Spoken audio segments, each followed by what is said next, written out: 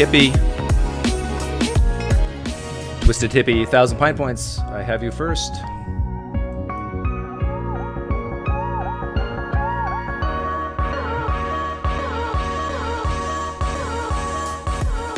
One step closer to getting that all expense paid trip to the Tropicana Casino and Spa.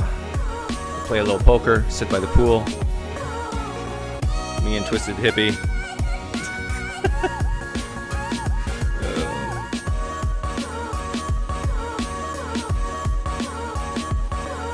Welcome everyone. Uh, Blake Giunta, Giunta. How do you pronounce his name? He's uh, he knows this is happening, and I invited him to come on. So at the end of the of the show, when I say I um, apologize, we ran out of time, that might be for real, uh, or he might actually come on um, and uh, talk with us. Us meaning me and Kamil. Kamil's here too, but you can't see him. He's invisible. I can make him visible at any time. Um, but first, before we, I go into that, I, I titled this uh, Belief Map Why Apologetics Sucks at Evangelism. I mean that. I, I do think apologetics um, sucks at evangel evangelism. But let me be clear this is what I think it's good at. It's good at, at helping those backslidden Christians it's good at helping those Christians who feel guilty, who who are in their late teens, early 20s, who feel guilty for some of the things they've done because of their upbringing or because of the culture they're raised in, thinking that certain things that they're doing is wrong, and they feel bad about these things, or they legitimately has done some bad things, and um, they need to change their life, and uh, they go back to the religion that they were raised in. So for those people, I think Belief Map, uh, which is an apologetics website, and apologetics in general is very useful. Um, also, I do think for those who've never even been raised in Christianity at all, apologetics can be useful for those who are desperate, for those who uh, probably, I'm talking now people who passed their 20s, they're, they're basically not uh, Christians at all, uh, they're rounding their 30s, and um, and then something bad happens: divorce, death, tragedy, bankruptcy, something like that. Belief map apologetics um, can help in that case too. But usually, and this is where I think Christians right now Christians are just yelling at me, top of their lungs. They hate me. They hate Pine Creek for what he's saying. But this is uh, I'm going to say something now. I think they're going to agree with me on, and that is that it's the person who loves, it's the person who cares, shows empathy, who is most likely to impact the non believer. So imagine that 30 year old person who's something bad happened in their life, and a guy like Blake comes and, um, and talks to him or her. Do you think the belief map is going to be a good thing to start with? No. Someone who just, let's say, lost their spouse in a tragic accident. You think Belief Map's going to help them? No.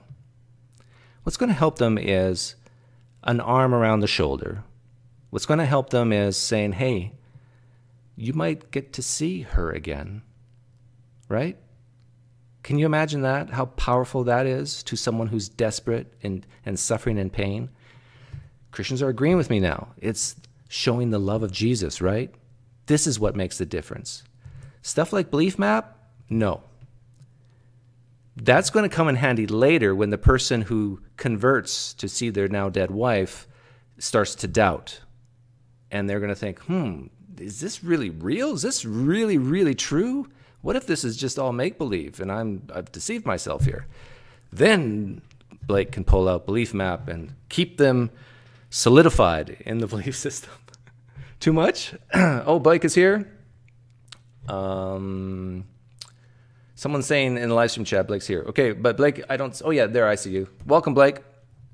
I think Blake agrees with what I just said. That that it's um, the love for Jesus, the love for your fellow man, which can be way more powerful than um, any apologetic could be.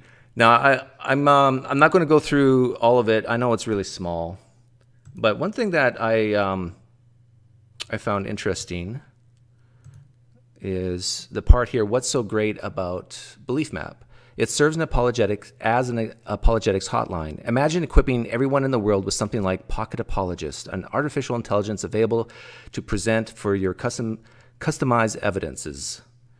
I, am confused. Is evidence ever evidences, or is, isn't evidence plural already? I've seen so many people say evidences that maybe, and I probably have too. Anyhow, um, supporting Christianity to offer instant scholarly answers to complex questions. Yeah. I have a feeling some people would disagree with that. I'm sure there's some scholarly stuff here, or sorry, sorry, a lot of scholarly stuff. But for example, let's, let me go to the search bar. One thing that I've talked about is uh, the first gospel is Mark, according to many, um, and that it's an Elisha Elijah narrative. So let's say if I put in the word Elijah in the search bar, is that going to be in here? Did Jesus rise from the dead? No. Did Christians desire to acquire a missing body? Did the Jerusalem church know Jesus' burial location? Is the risen is risen a good evangelism movie for defending? Is risen that's the movie. The ascension of Isaiah that could be close. Mm. No, see, I'm not. One of my biggest complaints, maybe it's in here, but I'm not seeing it. Is um, that when you're reading the Gospels, you're reading mostly fiction and it's based on Old Testament narratives. And so when I put Elisha, Elijah, maybe if I put Brodie in, no. See, I'm not seeing one of my major complaints. Anyhow, let's get back to uh, the purpose. Statement of faith. Our statement of faith God is the greatest possible being. God is all powerful, all knowing, all good, holy, eternal, creator of the universe. Moreover, God alone is the proper object of our worship and service. God is a Trinity. Jesus, one of the three persons of the Trinity. The, see, there's a lot of Christians who are not Trinitarians. They're called Unitarians. Uh, the gospel is the good news for believers. Good news for what? Why is it good? Um, by which you are saved. Saved from what? If you hold fast to the word I preached to you, unless you believed in vain that Christ died for our sin according to the scriptures, which scriptures? And that he was buried and that he raised on the third day. So, yeah, this is the creed. Um, not all creeds are true. Salvation, but through Christ we can be saved through God's. Okay, here we go. So, what are we saved from? But through Christ we can be saved through God's wrath. That's important. God gets angry, righteous anger. That is hell, where non believers are forever condemned, rather than through baptism or any other works. See, this is, I think there's a shift in America happening right now that uh, a lot of Christians are realizing that if you talk like this, it's going to hurt your evangelism. I, I think that's really true. Why? So, why is this belief map apologetic website even needed? Um, so, one of the things that I've always said to apologists is that let's assume Christianity is true for a second. Who cares? Who cares if it's true? What does it matter if it's true? And a lot of apolog- apologists get taken aback when I ask that question. Now, I believe we should believe as many true things as possible, but sometimes believing false things can actually be, be beneficial. And um, so then the question becomes why? And there's a lot of true things that we don't need to know there's probably a lot of true, true things in physics and chemistry and stuff that most people have no clue about, and, and neither do they need to. Why do we need to know this? Why do we need to know the good news of Jesus, of the gospel? It's because of hell. Because it, it's to be saved from hell. This is what I think Blake believes. Well, he says it right here in hell, where non believers are forever condemned rather than through baptism or any other works. So it's it's grace, not works. I just did a video of how grace is like socialism. I know that bothers these types of Christians. Justification. And we, the saved, are saved because Jesus bore our sins in his holy body on the cross, because he suffered the penalty. Okay. Now, why am I talking about this? The Bible is 66 books. That gets rid of some uh, Catholics. um, other text sermons may be inspired as well, but the Bible is unique in that it is securely known to be inspired and can be used to judge other works and teachings. Okay, I'm bringing this up because my guess is, and I don't know this for sure, I tried to find Blake's personal testimony online. I couldn't find it, so maybe he'll tell me later. But my guess is that Blake believed this stuff, and most apologists believed, evangelical Protestant apologists anyhow, believe most of this stuff long before they knew the content within this belief map. So what, why do I bring that up? Before you start screaming genetic fallacy or anything like that, that I'm not talking about that means it's false or that means it's true. No, I'm not saying anything like that. What I'm saying is this hits hard on the issue of bias. It's like, okay, I have this belief. I believe this. I believe God's the Trinity. I believe He's the greatest possible being. I believe the gospel is true, all this. And but now I'm in my late teens, early 20s, and I'm starting to doubt. And I love, I love it when I read the Bible and read all the, the, the evidences for what I believe. So I'm going to search out everything that supports what I believe. And he's done that here. And to be fair, I'm going to put in the stuff that uh, goes against what I believe. But here's the problem it's a problem of bias. How do we know? What if? What if? What if all the objections to what you believe, you don't, you kind of dismiss them because of the fact that you have this bias to believe it? Now, Blake, I know you're in here and I know you're listening, and I know you have a wife who's a Christian, and I think you have a, a, a baby on the way, or maybe you just had a baby. Can you imagine, Blake, how terrible it would be if you left Christianity like in the next 12 months? Can you imagine the tears that your family will shed? I guarantee you they will cry. Like, not just a little bit, they will sob like crazy. How do I know this? Because this happened to me. Now, I'm saying this because whenever there is that emotional tie to a belief system, that's a red flag that biases are at its extreme. That confirmation bias is at probably at its extreme we don't have websites uh, of belief map for I don't know, like for certain chemistry things. there's not apologists for chemistry. Now there's in fact in the sciences your goal is to to just just constantly knock things down and try to just disprove disprove disprove in quotes. But it seems like in religion in in Christianity it's um it's no, we got to have walls and protect and help lead people to Jesus because there's eternal con- condemnation. Okay, now uh, I'm going to bring on uh, Kamil soon, but first I want to play a video to support some of the stuff I'm saying. Let me see here. So this is Mike Licona when he was debating um, Matt Dillahunty. And, you know, Mike Licona is a historian, and he likes to talk about the um, minimal facts, for example.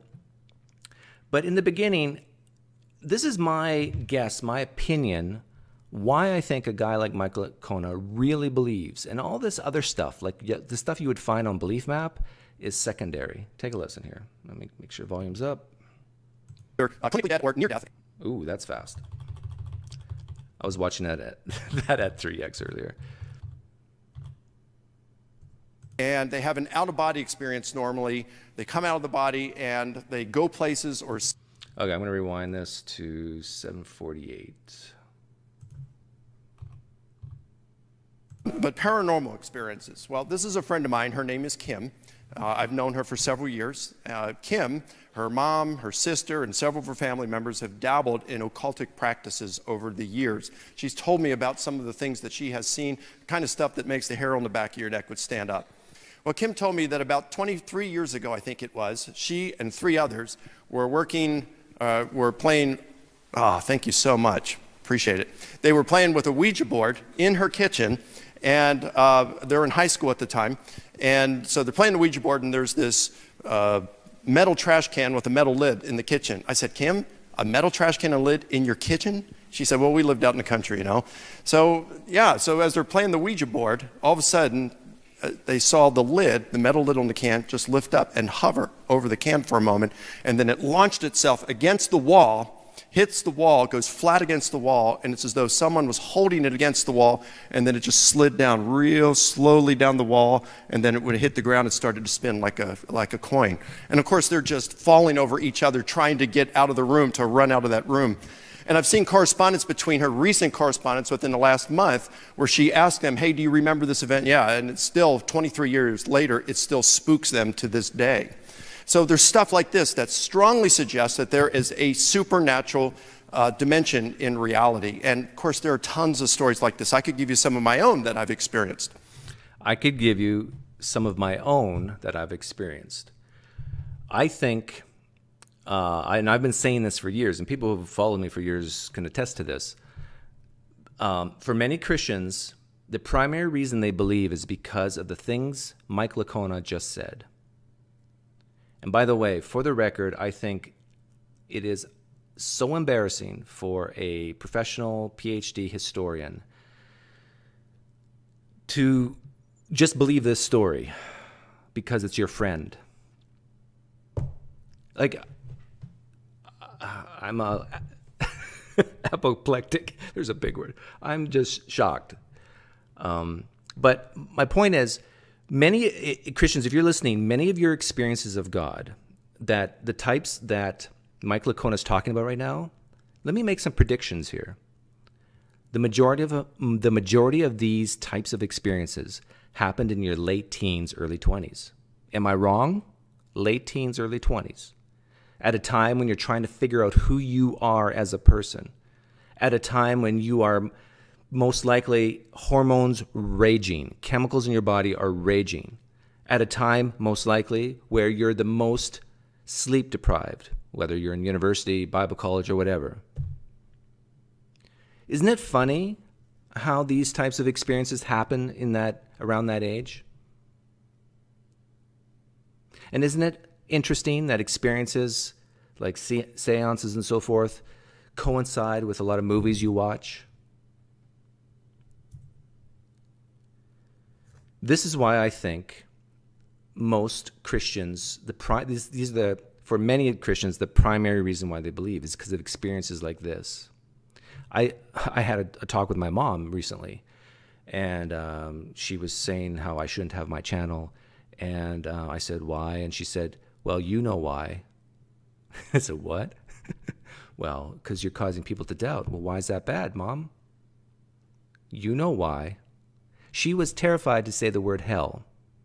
But then she said, But Doug, you're going to come back to Christianity. I guarantee it. I go, well, Why do you say that?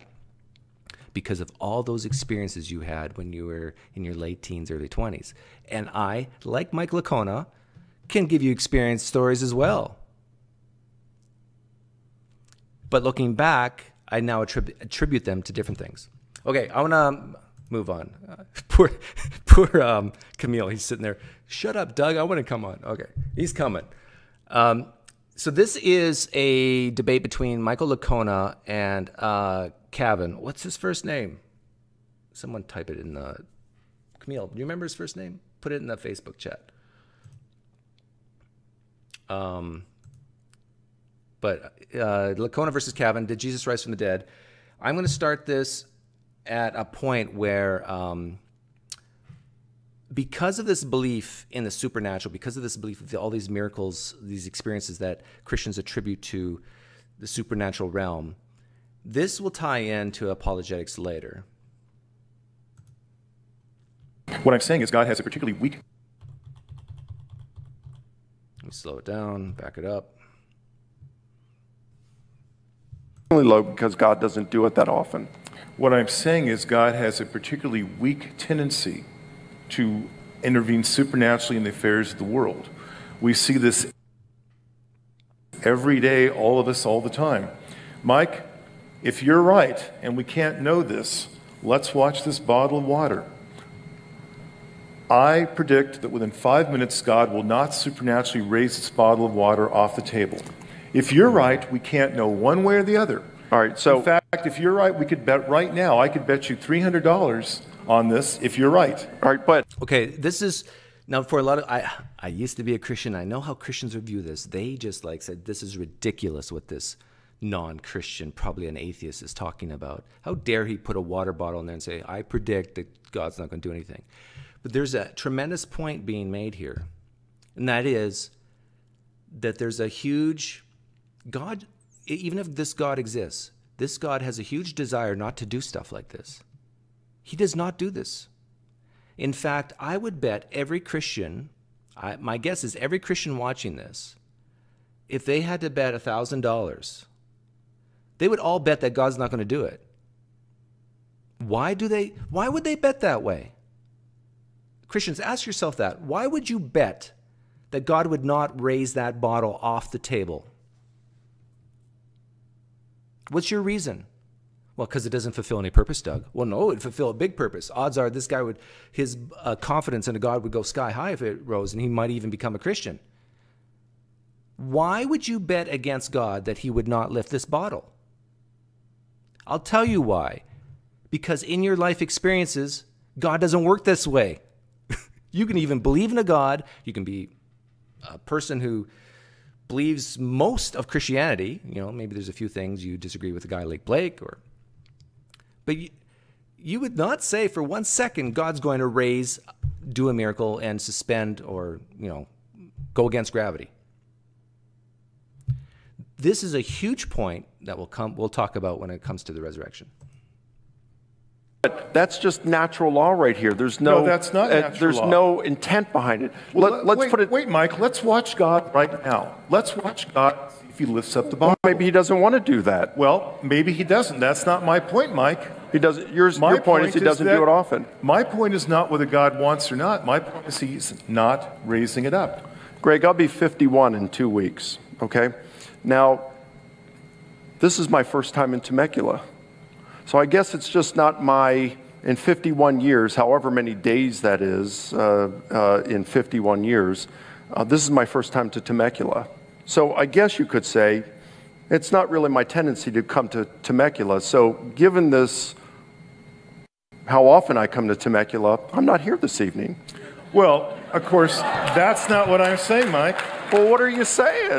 Well, Mike, you're confusing, Mike's confusing two different kinds of probability. He's confusing prior probability with posterior probability. The prior probability that you would have been here tonight is very low indeed. The posterior probability that you're here tonight is very high. You're So the prior two. probability is easily overcome by the evidence. In this case, yes. And I would say the same applies to the resurrection. If, Okay, this is the important part. if you want to give the resurrection, you'd say, well, there's a one chance in a hundred billion that God would raise someone from the dead. That's easily overcome by the historical evidence we have that the event occurred, given the context in which Jesus lives and dies, who he claimed to be, what he did in terms of astonishing deeds, and then we also have evidence that he did rise from the dead. Well, it would be if, again, you could show that your hypothesis has, and here you're confusing the issues explanatory scope, explanatory power. Okay, so I played that part because I wanted to show just how strongly a guy like Mike Licona and probably Blake believe that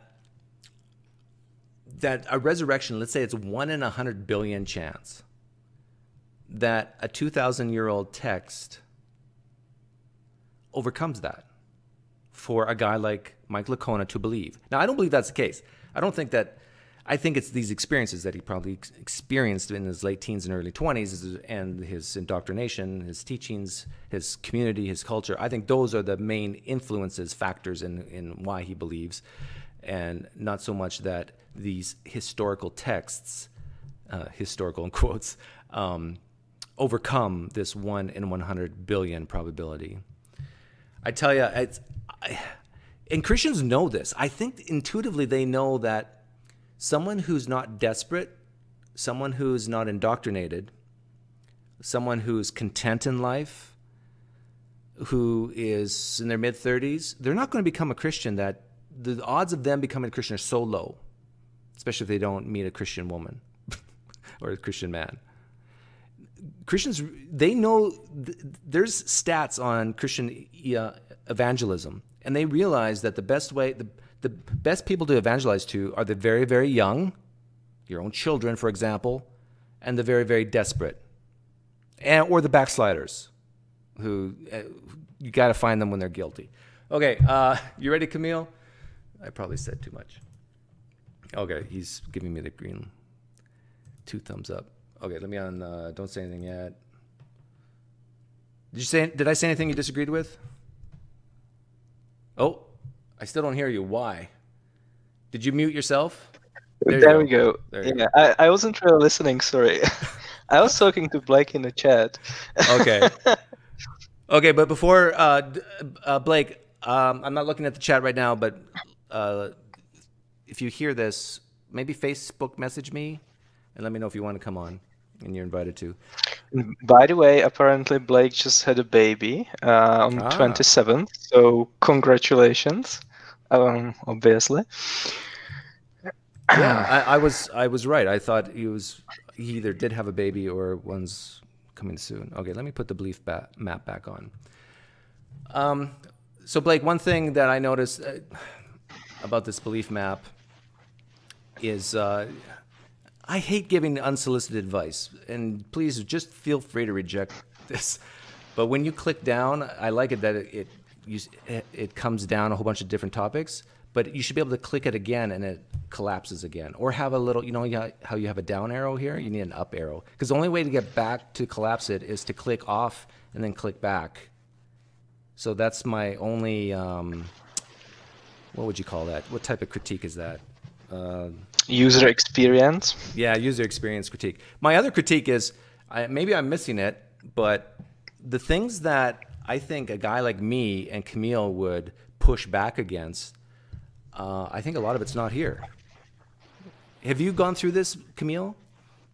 Yeah, it's it's pretty incomplete. And also, what's probably more, more concerning is that a lot of the links are actually circular, so they like loop back uh, on themselves. So like talk about a circular argument, right? Here you can literally spend eternity trapped in a loop, clicking from one website web page to the other and then back. Uh, specifically, the section about the plausibility of the resurrection. So like if Jesus was actually killed, how plausible is it that God would want to raise him from the dead? Links to the section that talks about the resurrection, uh, but that section links back to the section about the plausibility. So that's uh, that's circular. Um, yeah, I wanted, to but just, actually, yep. I was just going to say I wanted to show Blake something here first. Um, I'm I'm on the Fair Mormon website and they don't theirs is not as good as yours. I, will i'll give you that. But basically you can go on the mormon website and they have a section here called find, answers and um, let's see they had a critique section as well. And you can basically here's mormon scholars testifying on certain things. Um, and you can basically go by topic and find the things you want to find. So my point of showing you this is to say beliefs that you deem false are doing similar things to what you're doing. And it's like they realize there's criticisms against their own beliefs, like Mormonism, and they have answers. Wouldn't you know it? They have answers to all these critiques, just like you have answers to all the critiques against Christianity. They and they're, they're not scared. They present the critiques against Mormonism, just like you are not scared and present the critiques against evangelical Christianity. So, what's going on here? How can these Mormons still be Mormon considering all these objections to Mormonism? Blake, how would you answer that question? Think about it. Don't answer it now. But whatever answer you have, I would say that that's probably what's happening with you. And maybe even me. And this is the problem of bias and the best way, and trying to figure out the best way to lower it. Yeah, and actually, the main reason why I why I wanted to talk about Blake and Belief Map is that apologists, when they discuss the resurrection, love to talk about all the evidence, but evidence is just one component of evaluating a historical hypothesis. The other one is what's called plausibility or prior probability, and it's just how plausible a hypothesis is um, independent of the evidence, given what we know about how the world works, right? So if imagine like a patient comes to a doctor with a fever, what's more likely that the diagnosis is going to be a common flu or the bubonic plague. most people would probably think that even before doing any medical examination at all, it's more we can say that it's more probable it's going to be a common flu, right? So that's the concept of prior probability. And most apologists don't actually bring this up because I think they don't really know that this is a thing, like that's a concept in epistemology. But Blake is one of the few um, apologists who is a Bayesian uh, he likes uh, Bayesian epistemology. So he has a section in Belief Map specifically addressing the question of the prior probability of the resurrection. Because even ha- if you have amazing evidence, like 500 eyewitnesses to the risen Jesus and conversions of Paul and James and stuff like that, if the prior probability of the resurrection is extremely low, that uh, evidence is not sufficient to warrant belief. So on one hand, I want to congratulate Blake uh, because I like that he's one of the few apologists to talk about it. But on the other hand, I would I actually wanted to go over the reasons that he gives for thinking that the prior probability of the resurrection is actually high, and showing that they are all shit. So let's do you that. Have, you have to whisper that word. yeah, sorry about that. I uh, hope right. you're not going to be demonetized. Maybe Blake's not going to click off now. Uh, okay, let me just summarize what you said. Um, basically, a lot of Christians think that because a God exists and can do amazing things, then that raises the prior probability that Jesus could be raised from the dead. And what you're saying is, no, that doesn't follow. Yeah, it's it's very important to realize that you don't have to be uh, an atheist or a mater- materialist or a naturalist to think that it's very improbable that God would intend to raise Jesus. Just think about it like there are billions of people in the world who believe in god and believe that miracles happen including resurrections but still are not convinced by the historical evidence right? Like there are even millions of people who worship and believe the same god that blake does yahweh you know el elohim el shaddai el elyon but don't think that jesus was raised uh, they are called the jews uh, so let's Muslims. just grant for yeah, let's just grant for the sake of argument that Yahweh exists, not just any God, specifically Yahweh, the God of Abraham, Isaac, and Jacob. And let's just grant for the sake of argument that miracles do actually happen, including resurrections. And let's talk about how what is the prior probability that Jesus would be raised. And I like the clip that you played uh, by, uh, you know, um, the, the, clip of, uh, yeah, the clip of Greg Coven. I like it because I recommended it, uh, but it's ba- it basically shows you that even if God exists, the prior probability of the resurrection is very low, uh, because of what we see around us, right? Like if, I pick up a book, I can predict that in the next hour two hours, 24 hours, God is probably not going to intend to um, send the book flying across the room supernaturally, right? We can actually predict the intentions of God using our past experiences, and we can do the same thing with the resurrection. So basically, even if, if Yahweh exists, we can establish that he has a very strong tendency not to raise people from the dead. So the idea that Jesus was one of the few exceptions is inherently very improbable. But and Jesus is special. Reasons. Kamil. Yeah. Jesus, Jesus is yeah, special. Yeah. So let's let's go over, over the reasons for thinking that uh, Yahweh made an exception with Jesus and decided to raise him specifically, and not some other people, like um, my great grandfather, for example. Well, because he said that he would, he he predicted his uh, resurrection. And is that a minimal fact? is that something that Muslim and Jewish and um, Hindu historians agree? Like, yeah, if you ask Bart Ehrman, do you think that Jesus predicted his own death in advance? Do you think he's going to say yes? but Jesus said he was God and he forgave people of their sins, and he said, uh, Me and the Father are one. And is that a minimal fact? Is that something that a vast majority of New Testament scholars agree on? Or is that something that just Christian scholars agree on? But Kamil, okay, he ate and he he walked and he talked to people after he was raised from the dead. And is that found in our earliest and best sources, like the letters of Paul? Does Paul say, Jesus appeared to me and I poked his wounds? Or yeah. is it only found in some gospels, later ones, not even in Mark, the earliest gospel, just in Luke and John. Did you actually know that there isn't any detail, like specific detail about the physicality of Jesus's body that appears in more than one gospel? Like if you think about it, in Luke, Jesus eats a piece of fish, which shows that he has a physical body, but that detail is only found in Luke. In John, Thomas gets to poke his wounds. And that's a detail that's only found in John.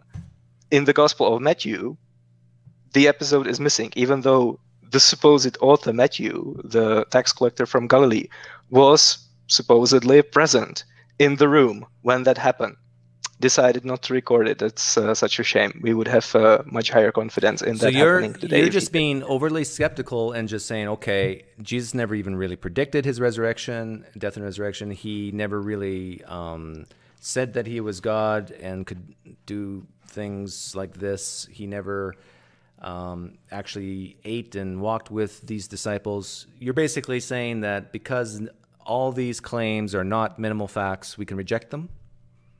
Well, I think that uh, the biggest strength of the minimal fact apologetic is that it's supposedly, if you take only the core facts that all or vast majority of scholars believe in or agree on, regardless of their personal bias, so regardless of whether they are Christian, Jews, Muslims, or atheists, it's still reasonable to believe in the resurrection because the resurrection best explains these minimal facts.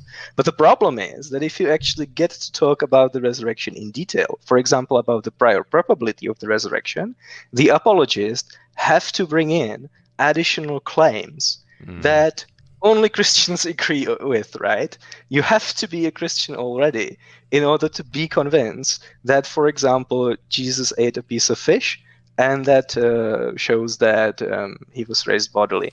Here's a um, here's a specific example from the Belief Map uh, website. A, this is under the category Jesus rose from the dead, and it says, "Did Jesus rise from the dead?" Introduction: Christianity stands or falls on this.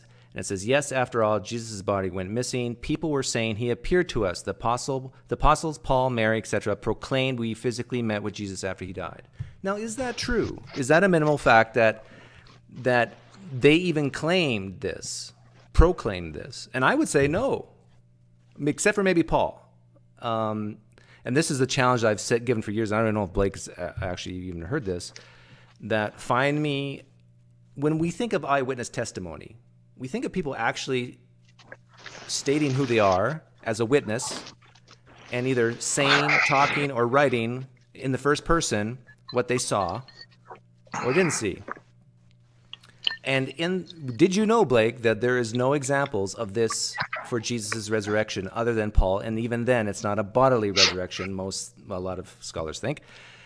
So we don't have anybody proclaiming. We don't have the apostles. We don't have Mary proclaiming that they physically met Jesus after he died. We have anonymous texts saying this.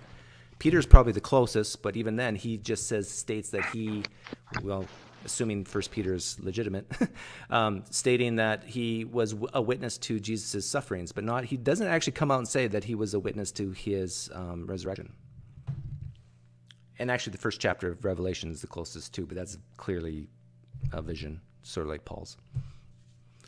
So anyhow, here's here's the problem I have with your website, Blake, is because um, it, it seems like it's not. It's you. You say you're bringing up scholarly articles, but to me, this sounds like Sunday school again. I think back 30 years, 20, yeah, 30 years ago, 25 years ago. This is the stuff I would hear in Sunday school. And then as I got older, I realized, oh, wow, no, no, not, not quite. Um, Kamil, you remember all the, we had like different sayings, uh, analogies for why just because God exists doesn't mean the resurrection is more plausible? Yeah, sure. Can, can you think of one? Well, I, I wrote some down here. Um, oh, this one's yours. Just because lasers exist, that doesn't mean lightsabers exist. Just because a God exists doesn't mean he rose Jesus from the dead, raised Jesus from the dead. Um, if there's an athlete who excels at football, that doesn't mean this athlete excels at hockey. Uh, let's see here.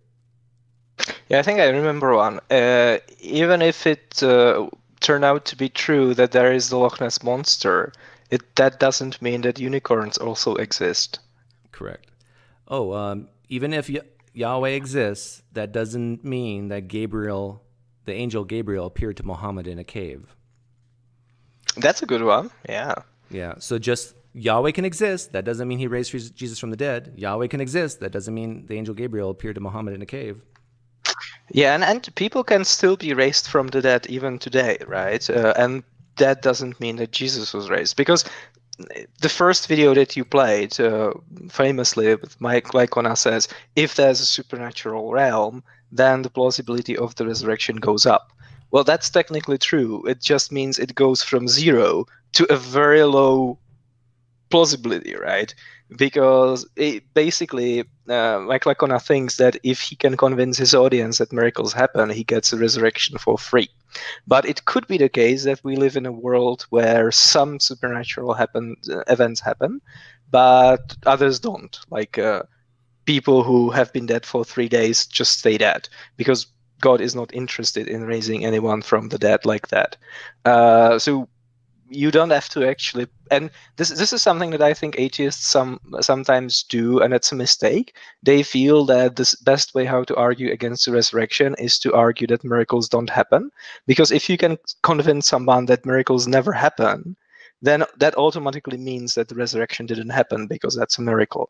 But I think that's uh, like unnecessarily difficult position to hold you can just grant for the sake of argument that Yahweh specifically, not just any god, exists. Because then it's still improbable, like the resurrection is still improbable, because we know from past experience, from natural theology, that uh, Yahweh has a very strong tendency not to raise people. So we actually need very good reasons for believing that Jesus was the exception. And I'm sorry about the, the reasons that are given by Blake, for example, and by other apologies that address this issue uh, are just very weak. Um, like, for example, Jesus was a moral exemplar. How does it follow? Like, how connect the two dots for me? A, Jesus was a moral exemplar. B, God intended to raise him bodily from the dead after he was killed. I'm a moral. I don't exemplar. see how that follow. Kamil, I'm a moral exemplar, and I really don't think uh, Yahweh will ever raise me from the dead. Yeah, I was I was thinking about it. Like uh, Blake, uh, who is the second most moral person who's ever lived after Jesus? Let let's say, for the sake of argument, it's like Mother Teresa or something like that. And who is the most immoral person who's ever lived? Let's say Joseph Stalin, right? And let's imagine that we go to their tombs and we look whether there's a body inside for Mother Teresa and for Joseph Stalin. What do you think is more plausible? Do you think it's more plausible that the bones of Mother Teresa are going to still be in the tomb? Or do you think it's more plausible that the bodies uh, and the, the bones of Joseph Stalin are in the tomb? I think the plausibility is, is about the same, honestly. I think it's very high. Oh, oh um, uh, and I think it actually doesn't fall. Joseph Stalin, right? Hey, uh, Blake just entered the room. Uh, you have to uh, close the YouTube uh, tab, and let me uh, fit you in here. I've muted you right now, so I can't hear you just yet, but I'll unmute you as soon as I do some housekeeping. Oh, and uh, you need a camera, Blake. If you can hear me, uh, go to cam slash mic in the top middle of the green screen part. And um, here, let me unmute you. Can you hear me? I can. Hold on. Let me make sure my microphone, excuse me, my camera is in Go ahead, keep talking. And I'll make sure I can. Okay. We'll let you figure it out. Um, thing is, if I mute you, I don't know when you're done. If, but you, you for sure have a mic, uh, a camera. Yes, I do. I just have to figure out which one it is. I prefer you. We can see you, but if not, uh, I'm okay with having you just an avatar.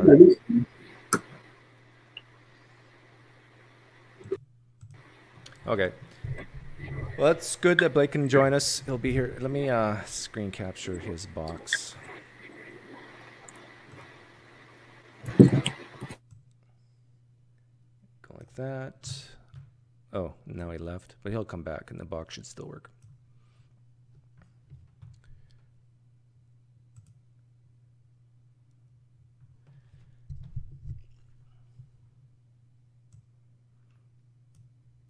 I should start the music and sorry we ran out of time.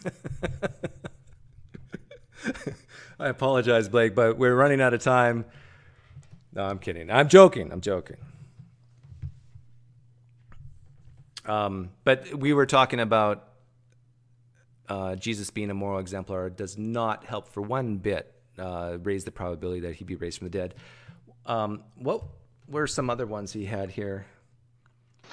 Yeah, I think basically the they have the same issue because the problem is that the reason why these arguments are bad is because Christians are starting with a conclusion and they are trying to reverse engineer reasons, right? Like they already believe that Jesus was raised, so they are thinking, what's special about Jesus? And as soon as I identify something that makes Jesus special, they leap to the conclusion that, oh, this must be the reason why God intended to raise Jesus and not someone else. But the problem is that these arguments are either ad hoc, uh, they are non sequiturs, or they are just circular. Uh, yeah. I mean, like Belief Map, the website, on that specific point is literally circular. It's like the various sections are interconnected with links. Um, yeah. So, so yeah, I, I always try to try to figure out ways to articulate this to Christians watching without offending them too badly. It's almost like you have to don't disrespect the Bible, but don't respect it either. Don't don't give it any benefit of the doubt, but don't just slam it to the ground either. And when you do that, you end up viewing some of the claims in the Bible the same way you would um, that water bottle um, and the claim that it's going to rise off the table. You can say, no, I'm betting against that. I'm betting against that. And when you read some, let's say, stories in the New Testament, I think if you're honest with yourself, you would say the same thing. I'm betting against that. Yeah, it says that. Yes, it could have happened. No, but I'm betting against it. I don't think the evidence overcomes my willing to bet a thousand bucks against. and um, and so, but I think you're exactly right, Kamil, that people come into it saying, but Jesus said this, he did that. We, we know these people he interacted with. They, they read the, Paul's epistles, they read the Gospels, for example, and they just think they're reading history. And maybe in some cases they are. But, uh, but we both know that there's many uh, ancient Roman biography that contains fiction. Do you know one off the top of your head? Yeah, and yeah, and you you have to. Uh, well, I would recommend an excellent book about fiction in uh, Greco-Roman biographies. It was written by Mike Licona, who shows very persuasively that uh, authors of these biographies, like Plutarch, just conventionally invented details uh, in their biographies, even though they were based on real historical people. And of course, Mike uh, does that research in order to show that contradictions in the Gospels are not a problem. They are just results of Greco Roman historians doing what these sorts of historians did. But he's obviously massively shooting himself in the foot because he can then argue, for example, that Jesus was raised bodily because in the Gospel of Luke he eats a piece of fish, because that could, of course, be the one of the details that uh, the author whoever that might have been invented um, yeah. Uh, Justin Maurer, I think that's how you pronounce his last name. Justin Maurer says, Kamil and Doug, if Jesus is God's son, the probability of him being raised from the dead are were very high. And absolutely, watch this, uh, Justin. I am God's son, and when I die, the probability of me rising from the dead has gone up because I'm God's son. Would you make that bet?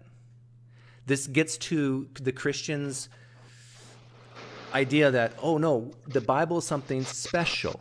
It's something to be revered and respected. And when it says that Jesus said he's the Son of God, and whatever that means. Just because you're son, you say you're the son of God, that actually doesn't mean you're divine either. But anyhow, that's a different. Actually, topic. actually, like let's say for the sake of argument that it's true that you are a son of God. Does that mean that you are going to be raised after you die? No. Like, how does that follow, right? Yeah. Where does it say? And even if I say I predict I'm going to die next week, and I'm the and I'm telling you I'm the son of God, and I will rise from the dead, does that raise the probability that I, Yahweh, the one that we've already granted exists, is going to do it? No. Yeah, it's, it's very important to realize that the people who wrote the New Testament obviously already believed that Jesus was raised. So it's not surprising that they would write that this is something that God intended to do. Like, it would be really weird if they wrote, yeah, Jesus was raised, but it was actually despite what Yahweh wanted, right?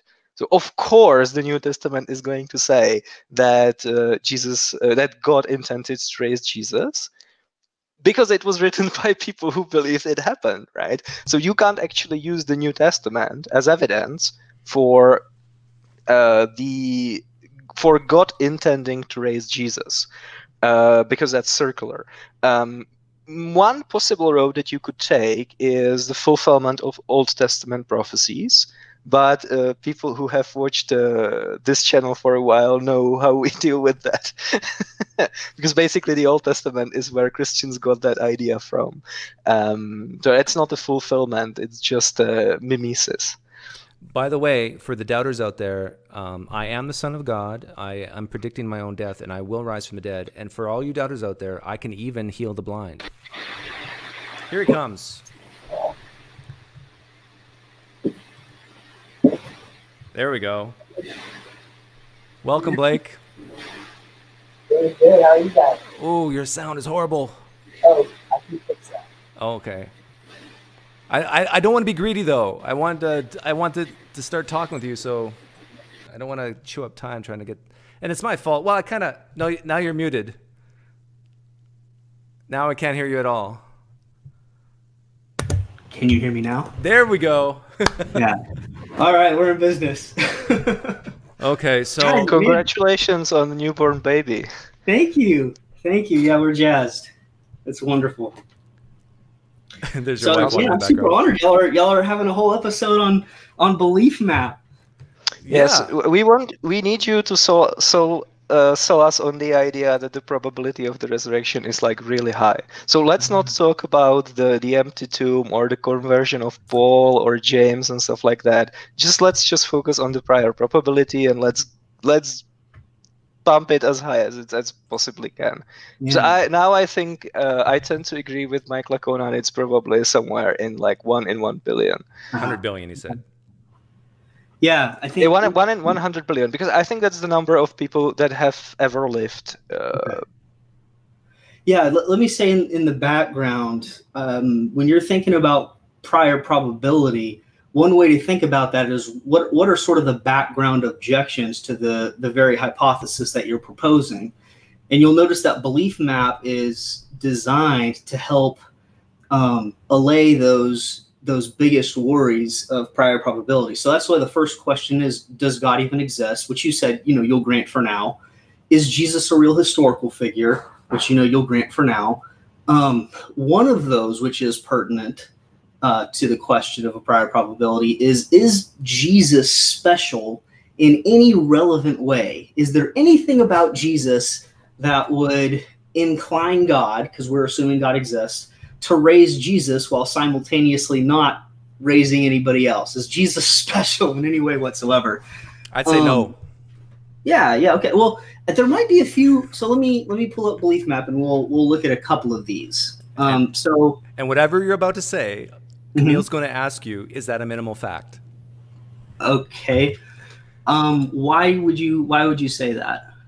Yeah, because I think the biggest strength of the minimal fact apologetic is that uh, you can only take, or it's sufficient to only take facts that a vast majority of New Testament scholars agree on, regardless of their personal bias, like mm-hmm. Muslim, atheist, Hindu, Jewish scholars. You don't have to bring in claims that pretty much only conservative evangelical Christians agree on. Uh, and still, the resurrection is the most plausible hypothesis, right?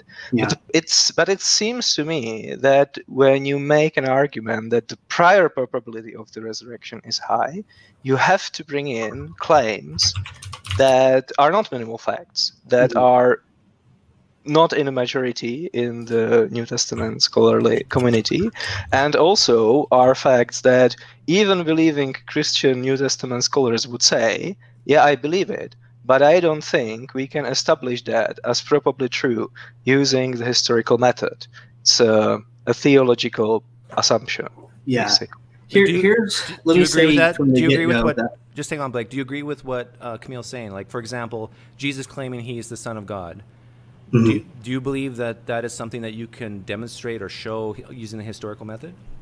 oh yeah, Uh, not, not just the claim that he actually was a son of God, because like, these are two different things. Right, like right. you can establish that he claimed that, which I'm not sure if that's in the consensus. Probably yes. Yeah, But you then you have to his show that he claiming to wasn't. be the son of God is. Let me say briefly, I um I don't claim to be making a minimal facts approach. Just so you're aware of the background, when Gary Habermas and these guys introduced the minimal facts, they're introducing it to lay Christians for them to use out in the field. And the idea is, how can I most efficiently convince someone that Jesus rose from the dead?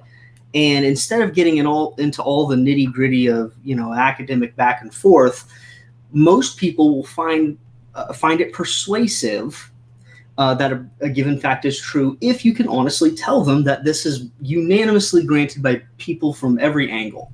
If you can say that, you don't even have to waste any time getting into the details. And the power of this particular approach for the lay apologist on the streets, or maybe if you're doing a quick debate, is you can get everybody to agree on some minimal facts. It's a rhetorical uh, technique, a good one um, because using these minimal facts, you can make a case for the truth of the resurrection. This is not, just so you understand, this is not a stricture on rationality. You can come to believe in the resurrection without limiting yourself to minimal facts. In fact, you have many beliefs right now that aren't based on minimal facts in the relevant field.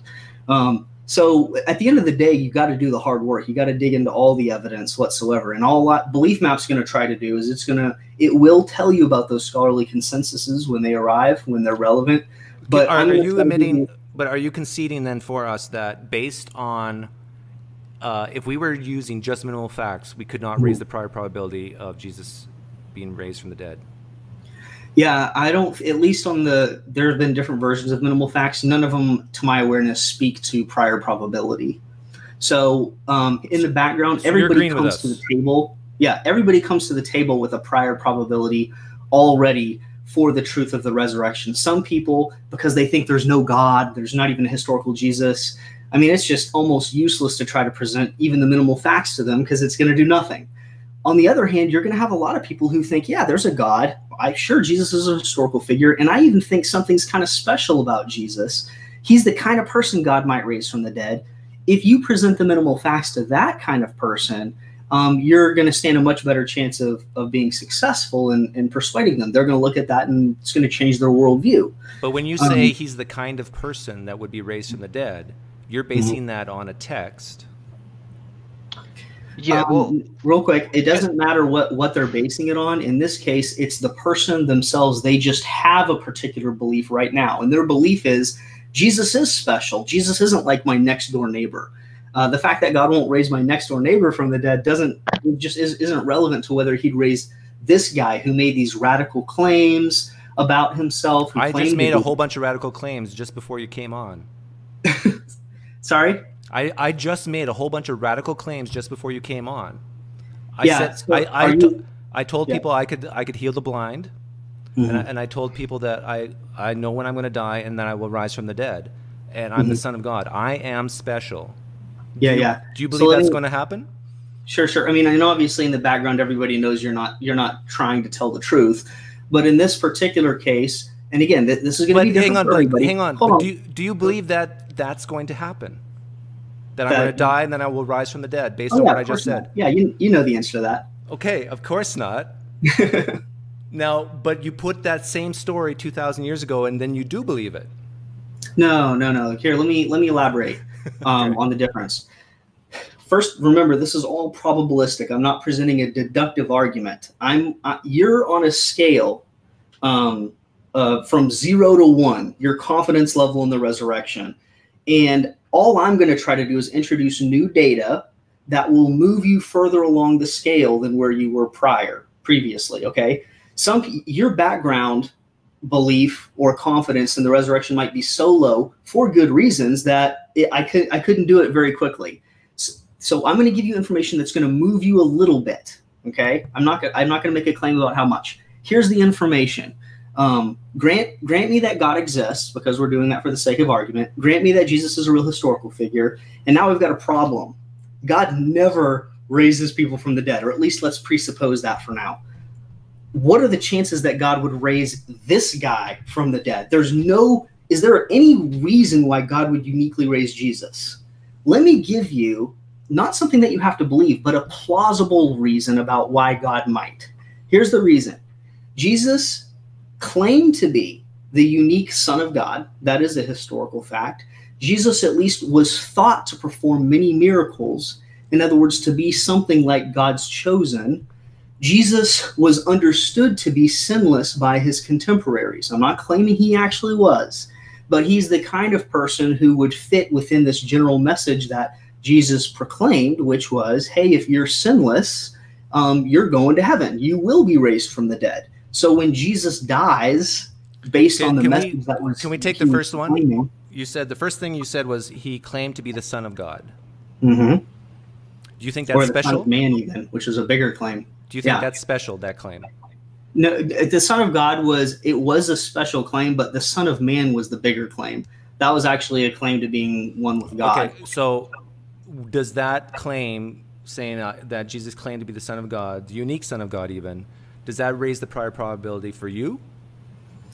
That um, Jesus was special, yes. Now, again, I don't have to believe it. That's not enough. To, I don't even. I don't even need to believe he did this. But it Can I- separates Jesus. It Can I ask distinguishes him from my na- neighbor. Sorry. Can I ask a question? Yeah, so please. let's uh, let's um, grant for the sake of argument that Yahweh exists. Mhm. How do we know that Yahweh would be interested in raising the Son of Man? Like, where does that information come from? Yeah. Um, so if Jesus is a is the Son of Man, then he's that's hearkening back to the book of Daniel and talking about the Son of Man coming to judge. Um, it's a it's a divine figure, the Son of Man. And all we have to say at this point is the the way the fact that God doesn't miraculously deal with my next door neighbor is irrelevant to whether God would miraculously deal with the Son of Man. And does Um, the book or- of Daniel say that the Son of Man is going to be raised from the dead? It, it doesn't have to. It doesn't have to. It can That- but it doesn't say it. No, yeah, it, it doesn't. But it doesn't have to. Not even And- close. And were there Okay, let me- let me why why do you think that Yahweh would be interested in Let me- raising Son of Man from the dead? Sorry, guys. One second. Yeah. Okay, dude. Let me give you an example. Um, so um, let's say we're, we're considering this hypothesis that I gave a person hundred dollars, okay, or let's let's say five hundred dollars, okay. Um, and I in, in and you say, look, how many people have? This is ridiculous that Blake would have given five hundred dollars to someone. Look around. How many people have, has Blake given five hundred dollars to? That's never happened before. Um, you know, as a gift, not to buy something. Um, and then and then I my response would be, wait a second, what what if this is like my son? Right. What if there's what if there's something unique about this individual? Well, wait a second. Uh, it, there are lots of fathers who haven't given their son a five hundred dollar gift, right? And that's Mhm. equivalent to your objection that hey, it didn't say No, that. it's it's actually not because in your analogy we have a lot of uh, evidence and experiences with how family relations work and how money is handed in families and stuff like that, and that informs our prior probability. But that uh, doesn't transfer to this situation. You would have to actually show like where are you getting the information that Yahweh, El Elohim, intends to raise Son of Man sons of man mm-hmm. uh, from the dead. Like you need to show that that claim is actually true, plausibly no, true. Real right? quick, sorry, I disagree. I don't need to show that he intends to do it. I need to increase the plausibility. In the same way, sure. If we're, if, real quick. So do it. please, please. If we're considering the hypothesis that I gave five hundred dollars to someone, I don't need to demonstrate that Blake intended to give five hundred dollars to someone. We just need to introduce some information that makes the hypothesis not crazy. And in this case, I'm, I do not need to show that God intended to raise the Son of Man from the dead.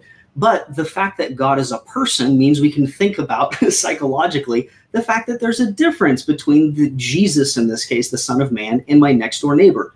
God is far more inclined to deal miraculously with one than the other, and we can all see that. Go ahead. Yeah, go ahead, Joe. Oh, we can't hear you. You mentioned Daniel as part of your support earlier. Mm-hmm. Uh, there were many people who could read Daniel there were many people who could read Daniel and and sort of see what was coming. How many people like Jesus do you think existed in the first century, making claims, similar claims like Son of Man?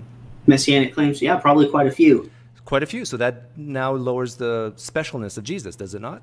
Yes, it does. Yes, it does. Thank you. But but not a lot. Um, uh, could, could, there could have been a thousand of these.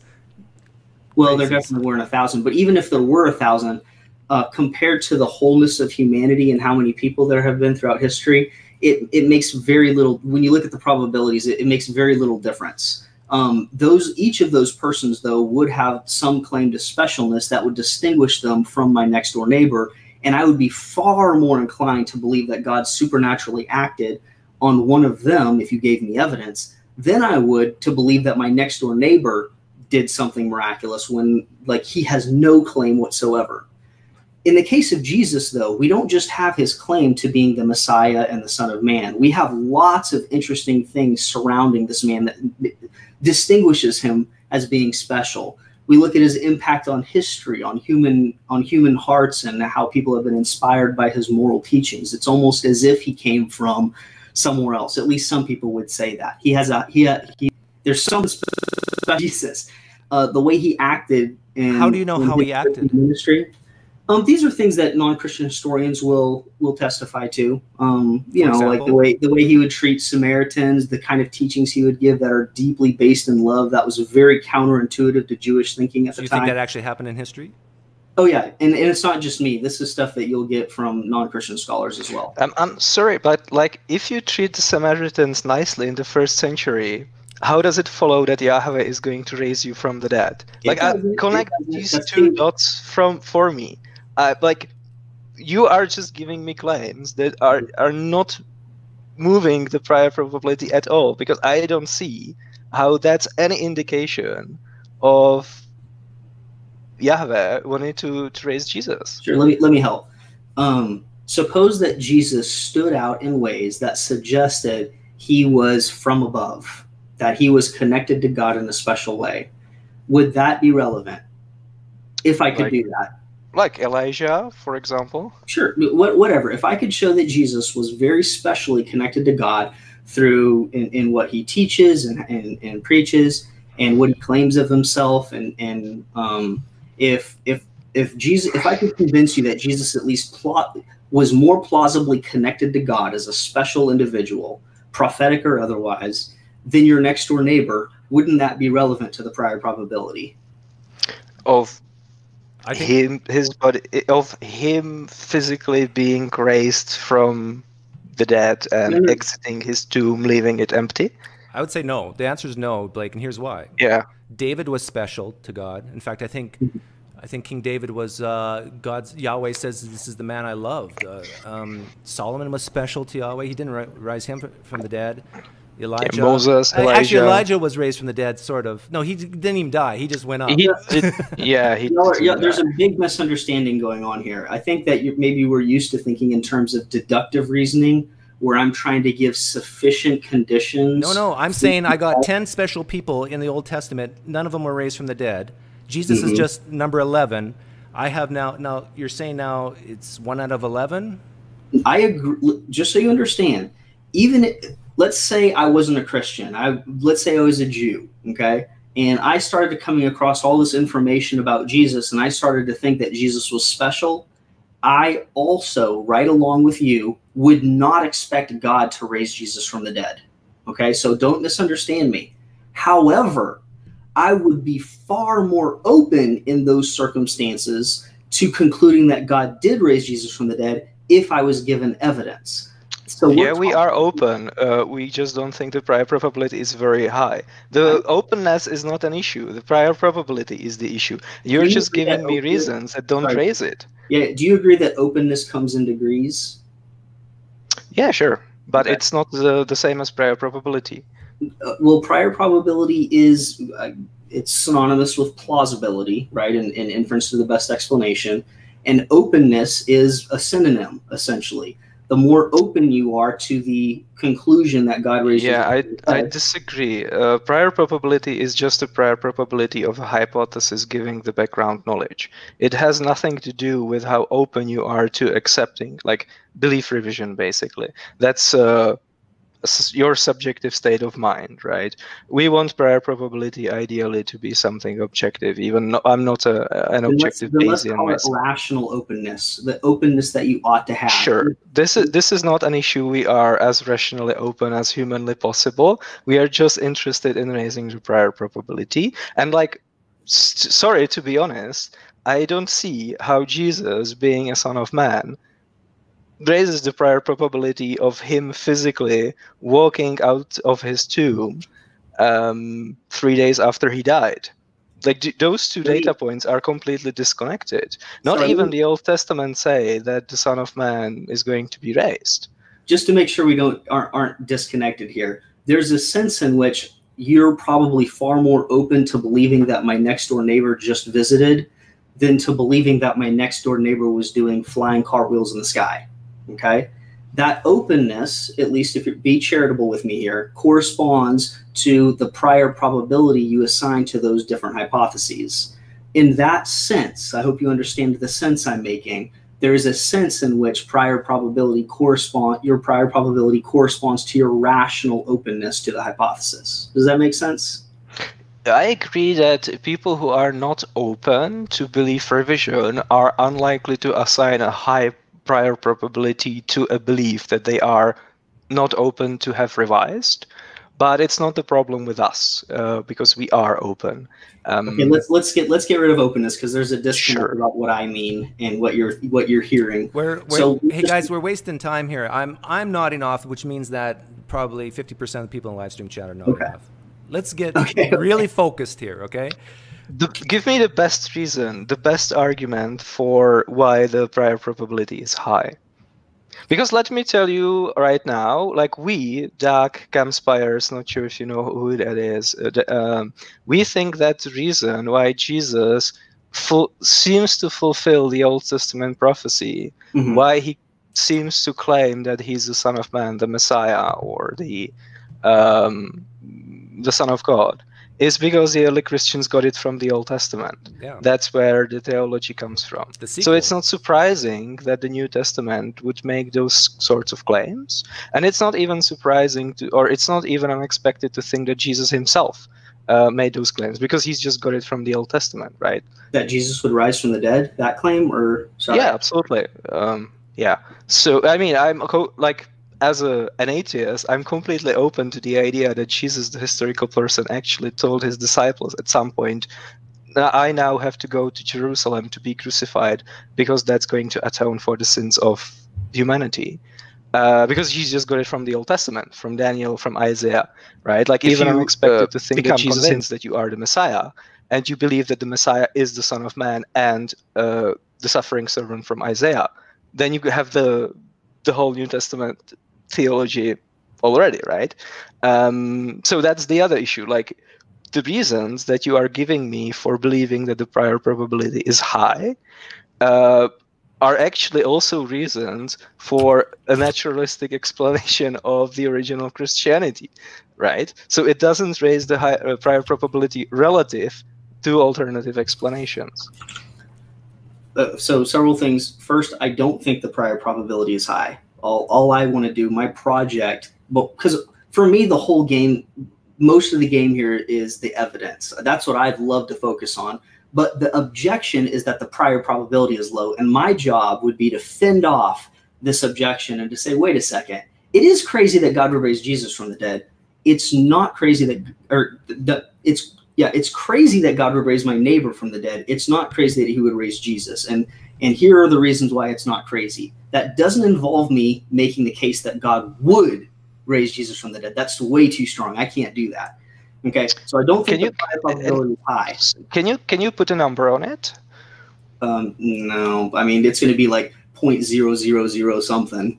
Is- it because I, I there was a workshop on the prior probability of the resurrection, and I know that uh, Timothy McGrew put it in like one in one billion or something like crazy low, Yeah, and Richard Swin- Swinburne put it in one in one thousand. So you have like a, both theists, both wrote prominently, both are using the the Bayesian epistemology, and they have a diff- like estimate which differs in orders of magnitude. Yeah. So like, are you closer to one in one thousand or one in one billion or one hundred billion? I'd be closer to Timothy McGrew. Not, I mean, not. I'd be in between them probably. Yeah, I, I would probably. and that's well. normal when, when you when you do evidence assess for anything and you ask a bunch of people who are uh, are thinking about it what's your prior they're all going to differ and sometimes they can work it out and get closer as they talk to each other um, but that's normal that's not like a, a bad mark against bayesian inference that's just normal um, And do you think there are naturalistic explanations that have the same likelihood ratio of the evidence for the resurrection that have higher prior probability? Uh, real quick, I did want to make a comment about something you said earlier, and then I'll Yep, go sorry. back to that. The, the one thing to notice is you, you seem to think that the Old Testament provided the grounds for Jesus's prediction and the Messiah's prediction. Just a quick thing to notice is that none, no other Messiah, and there were quite a few claimants to be Messiah, um, anticipated being risen from the dead. And non Christian scholars aren't even sure that Jesus anticipated being raised from the dead. What they will say is that he anticipated being vindicated by God. Okay, go back to your question. Do you want to repeat the question or? I, I Yeah. think the the he, Kamil was asking you for the best reason to raise the prior probability of Jesus being raised from the dead. What's your best reason? We already kind of stroke claim to be son of God off the list. Uh, okay, yeah. So I'm okay. So I think I've got like eight reasons. The best one would probably, for the for the prior probability, might be the um, that God would uniquely raise Jesus from the dead. Uh, it could be his it, gigantic impact on on human history. So Jesus, if Jesus were a special figure of God, it's not that implausible that he would be an important figure in human history. Uh, we're And talking who's the, about who's the who's the second most important figure in human history?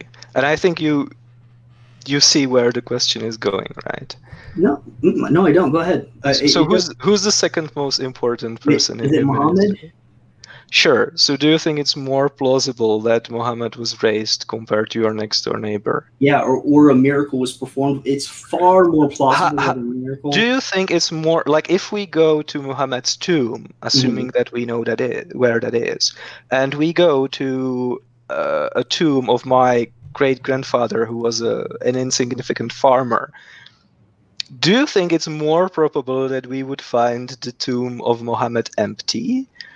Uh, or do you think it's more probable that we would find the tomb of my great grandfather empty? Um, assuming the evidence is the same for both. yeah, that the the hypothesis that God would miraculously raise Muhammad from the dead um, is far higher than that God would raise your any of your relatives. Yeah, for sure. Okay. Wow. I would not have expected that answer. Yeah. Now, Because uh, Blake, remember, okay, hang on. ra- Blake, are you saying that?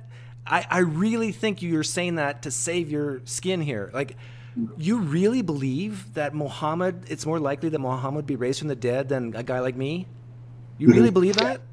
Well, Do, you think it's more likely that Why. Adolf Hitler was raised from the dead than my great grandfather? Can I- can Because he had well, more impact on human history than my great grandfather. Or, you or Genghis Khan, you know?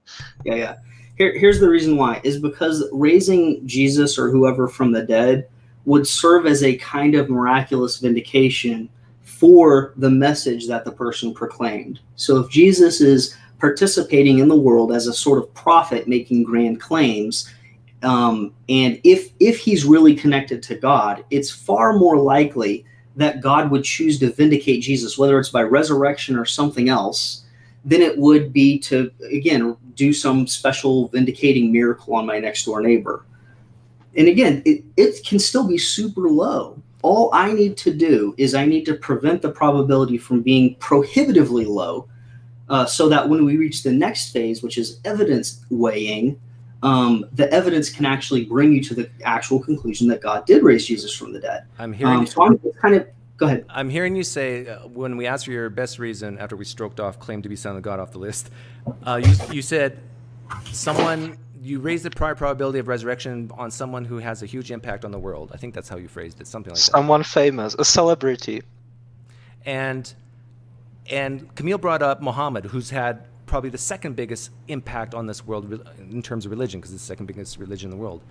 Mm-hmm. And I'm still flabbergasted that you think that the probability of God raising Muhammad from the dead is higher than me because it's prior he, probability. Yeah, prior probability compared to me just because he's has the second largest false religion in the world. I I don't get it, Blake. Help me understand this. Well, or you might put it in the evidence category then. So let, let me focus then on reasons. If that's not helpful to you, let me focus on things that would give God a special reason to raise Jesus from the dead. And like you said, we're setting aside for the heck of it right now Jesus' special claims uh, to be um, to be the the Son of Man, to be a divine figure. Um, focus in on Jesus's uh, claim um, to uh, of forthcoming judgment. Right. So when Jesus came to Earth, or at least on my theology, he, when he when his ministry was occurring, he was telling everybody, "Hey, uh, a judgment is coming." Okay, on on sinners, we're we're guilty, uh, and judgment is coming, and you need to repent of your sins. Right, and so he was he was playing the role of a prophet. Now, is God does God have more of a reason to miraculously vindicate a prophet than a next door neighbor of mine? I, I say no. Imp- I think I think the most important words that you've said so far is at least according to my theology, I, because I, I think that, that, I took that out. I fixed it by saying, okay, during his ministry. Well, hey. I, I, think I think that's what really, what this really all boils down to. Mm-hmm. Um, hang hang on, Kamil. Here's a picture of John Hagee. He almost weekly makes predictions of an apocalypse, the end, ending of the world. Are you saying it's more likely that Jesus or God will God will raise John Hagee from the dead than yeah, me? especially if he was mirac- um, a miraculous prophet. But yes, even if he didn't perform any miracles, which I assume he doesn't, and I don't know anything really about him, but yeah, if he's a if he's really performing the role of a prophet, that increases the prior probability. And how do you it know that? It. It how do you know this? It's better than the next yeah, name. how do you know that this is true about God? How do you know that it's the case that Yahweh is more mm-hmm. interested in, than in raising someone like that from the dead mm-hmm. than someone insignificant, the 19th century farmer? Because you hang can on, on. Let, make let up answer. reasons let him answer. to mm-hmm. motivate the prior probability. But then the other thing is can a historian establish that this is actually true about Yahweh using the historical method or yeah. some other method? Um, yeah. Two, let me say two things. One, I'm going to directly answer, and then I'm going to make a meta a meta comment. Okay. The direct answer um, is, which I've already lost it. So now I'm going to go to my my meta comment. My meta comment is is that there we have to be wary of rhetoric at this point okay, about what's going on. It's very easy to mistake what I'm doing with the claim that God would probably choose to raise Jesus from the dead. Um, and you're and you can make me sound absurd if you put that that shoe on me, which is not what I'm doing. What I'm trying to assess is the prior probability, okay?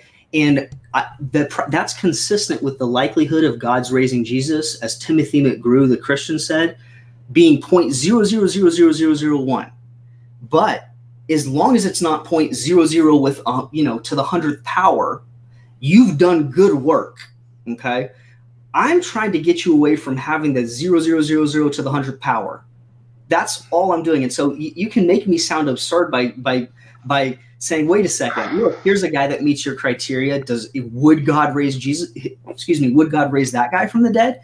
No, No, I understand that. I understand that. The, the problem is that you're not actually doing that, Okay.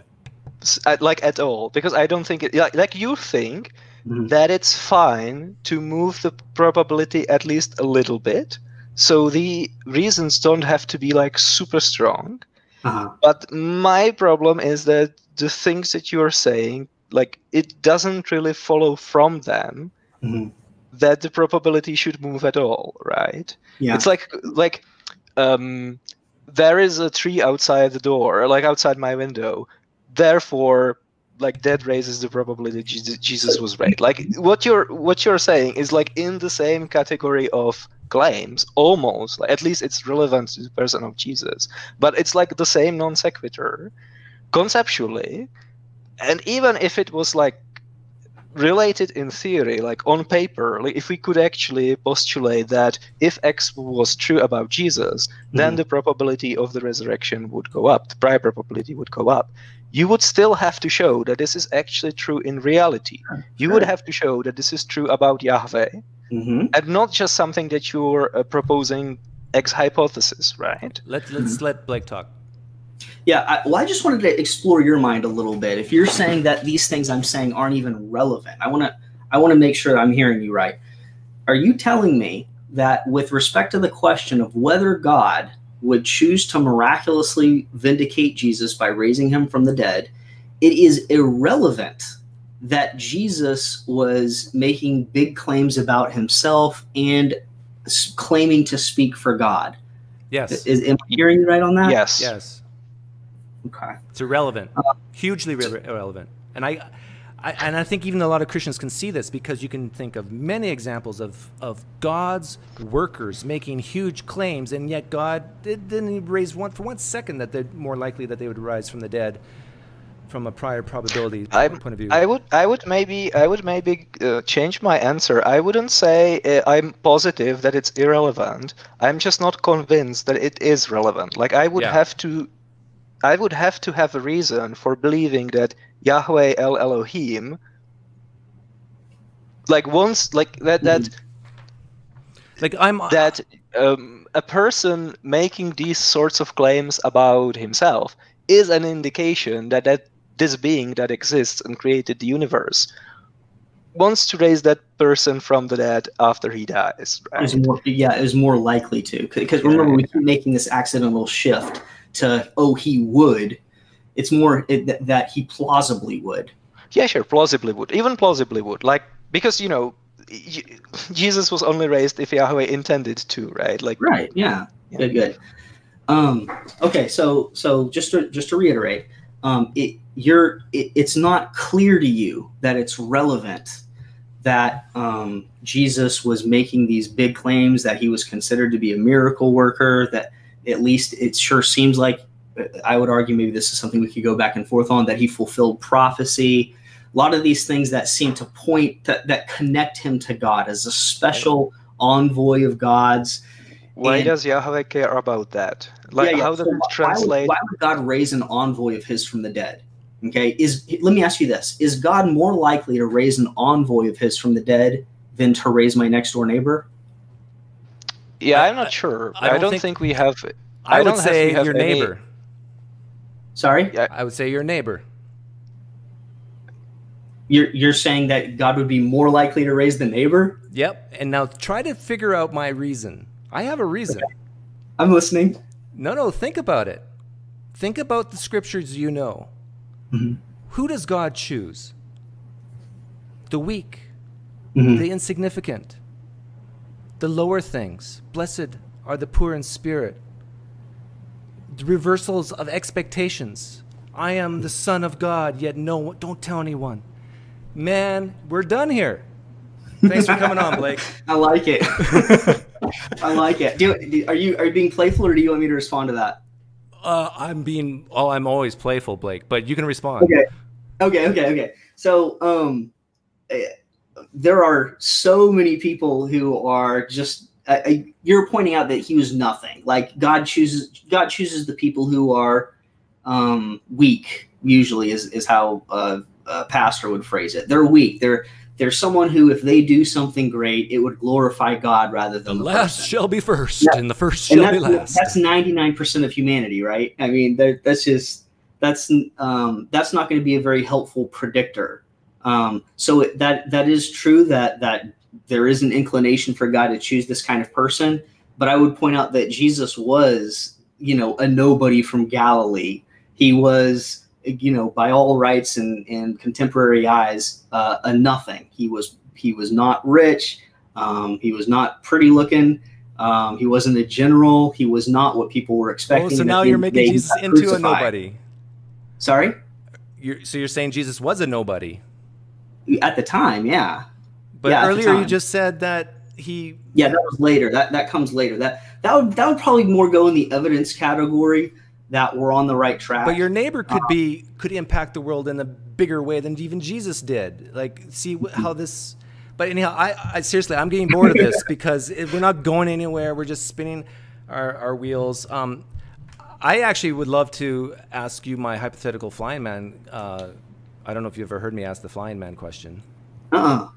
Tell me what is what is this my question? my great great great grandfather. I'm not joking now. This is serious. Uh, my great great great grandfather, he um, went to the Grand Canyon. He took off all his clothes. He ran off the cliff and flew, just unaided. He flew. Uh-huh. Do you believe that claim? Uh, not yet. No. Okay, what would it take for you to believe that? Um, gosh, I, I, I probably need to sit down and think about think about it because you know any evidence I could propose to you would have all these provisos next to it. let me let me let me uh, put it this way: if if we found a diary where it said 500 people saw this happen, Mhm. would you believe it then? If it was a diary, I'd have to know a lot more about the diary. But so you wouldn't believe it off. You wouldn't believe it just Sorry? based. You wouldn't believe it just based on that. You would need more. Oh yeah, of course not. Yeah. Okay. What if I told you that um, that not just a diary, but a specific person's diary named um, named named Myron. He said that not only did uh, he appear, did he fly, fly in front of 500 witnesses, but he flew right up to this guy named Myron. And Myron, you know, says, "Hey, I'm Myron, and this happened to me." Would you believe Mhm. it then? Yeah. So basically, we've got two testimonies at best. Right. Right. Right. Would yeah. you believe it then? No, I don't think so. No. Okay. And what if? Again, I obviously I don't think this is relevant, but I'll keep playing. Go ahead. So when, what, what if um, uh, about, I don't know, 30, 40, 50 years later, we had found four more diaries Mhm. from Myron, uh, Jacob, um, Peter, and, and um, Bill Mhm. saying, yeah, not only did the flying man fly, we saw this, uh, he did a lot of other things. Um, he went to such, such and such place. Wouldn't, yeah, I wouldn't believe it all. Okay. That we're we're done. I agree with you. I Yeah, wouldn't so, believe it either. And obviously, you're asking that because you think that that's analogous to the Gospels, right? Well, uh, I I think I, I I put in the creed, the First Corinthians 15 creed there. So that's the Mhm. earliest and best source. A lot of people say. I put in the basics of the Gospels, Mhm. and I what else did I layer in? I layered in that he went to real people in real places. Um, I layered in some some meat. Oh, and Yep. and and this flying man actually changed people's lives. He had a huge So here- on here's the difference. Let me, if I was going to be super quick, here's the difference. One is unlike in the case for the resurrection, I don't know that we've ruled out the lie hypothesis. Right. I don't think we've ruled out the hallucination hypothesis. Right. I don't know if we've ruled out the delusion hypothesis. But he was in Uh-huh. front of he, he was in front of 500 people. There, there's no such thing as group hallucinations, right? For 500 people, so that we stroked that one off. Uh, uh, illusion. On, but- but Do, do we know that that even happened? Well, yeah, it was in the book. It was in the diary. I said. I don't say that it happened just because it's in the Bible. Like that's not how I reason. Oh, okay. So you don't believe it based just because it says so. Not just it's just because a document says something doesn't mean you should believe the document, and I don't do that. Okay. Um, but that but at the same time, a document can say something and it can be credible, and you have you have to get it your hands dirty. You have to. So what would you need to see then to believe it?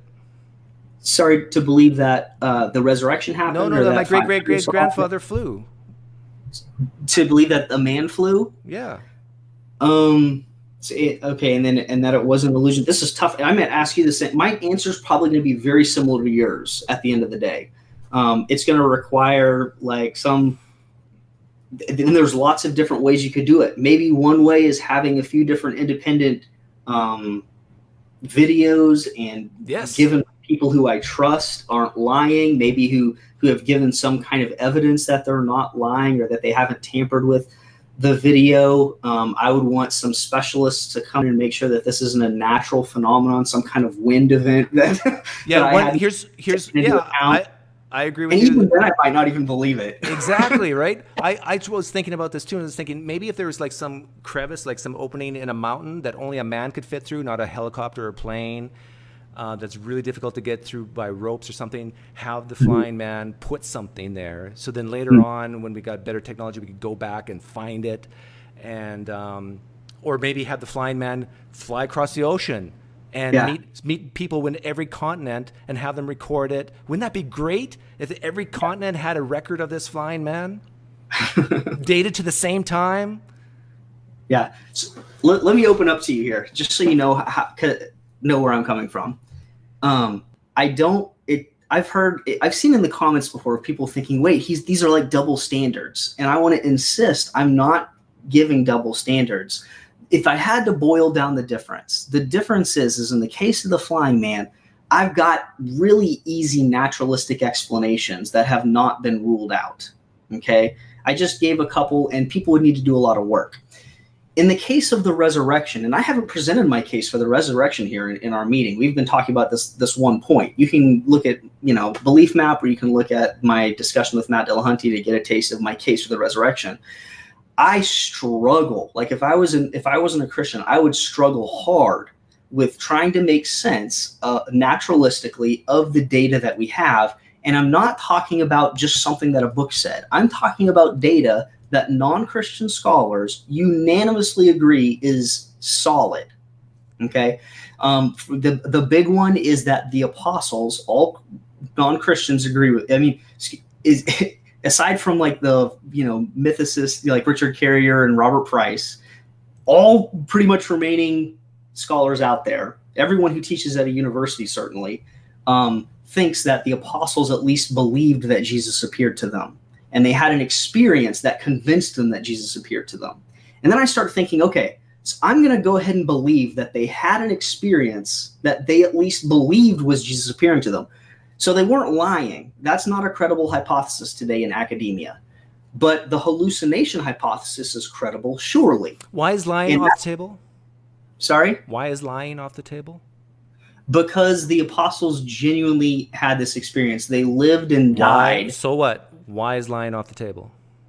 because if because they wouldn't have lived the, the way that they did. How do you know the way they lived? Sorry? How do you know the way they lived?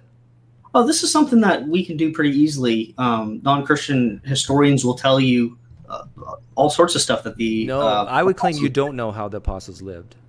I, Well, my, then my, my guess- against- I would I would claim to you that if we had better evidence, like we Mm-hmm. like what would we do for Mormonism, we mm-hmm. would find dirt on these guys like you would not believe. We would find dirt on Peter. We would find dirt on Paul. We'd say, "You're cra- you believe this guy after what he did?" Yeah, This is the type of stuff we have on Mormonism on guys like Joseph Smith because the evidence is way, way, way better.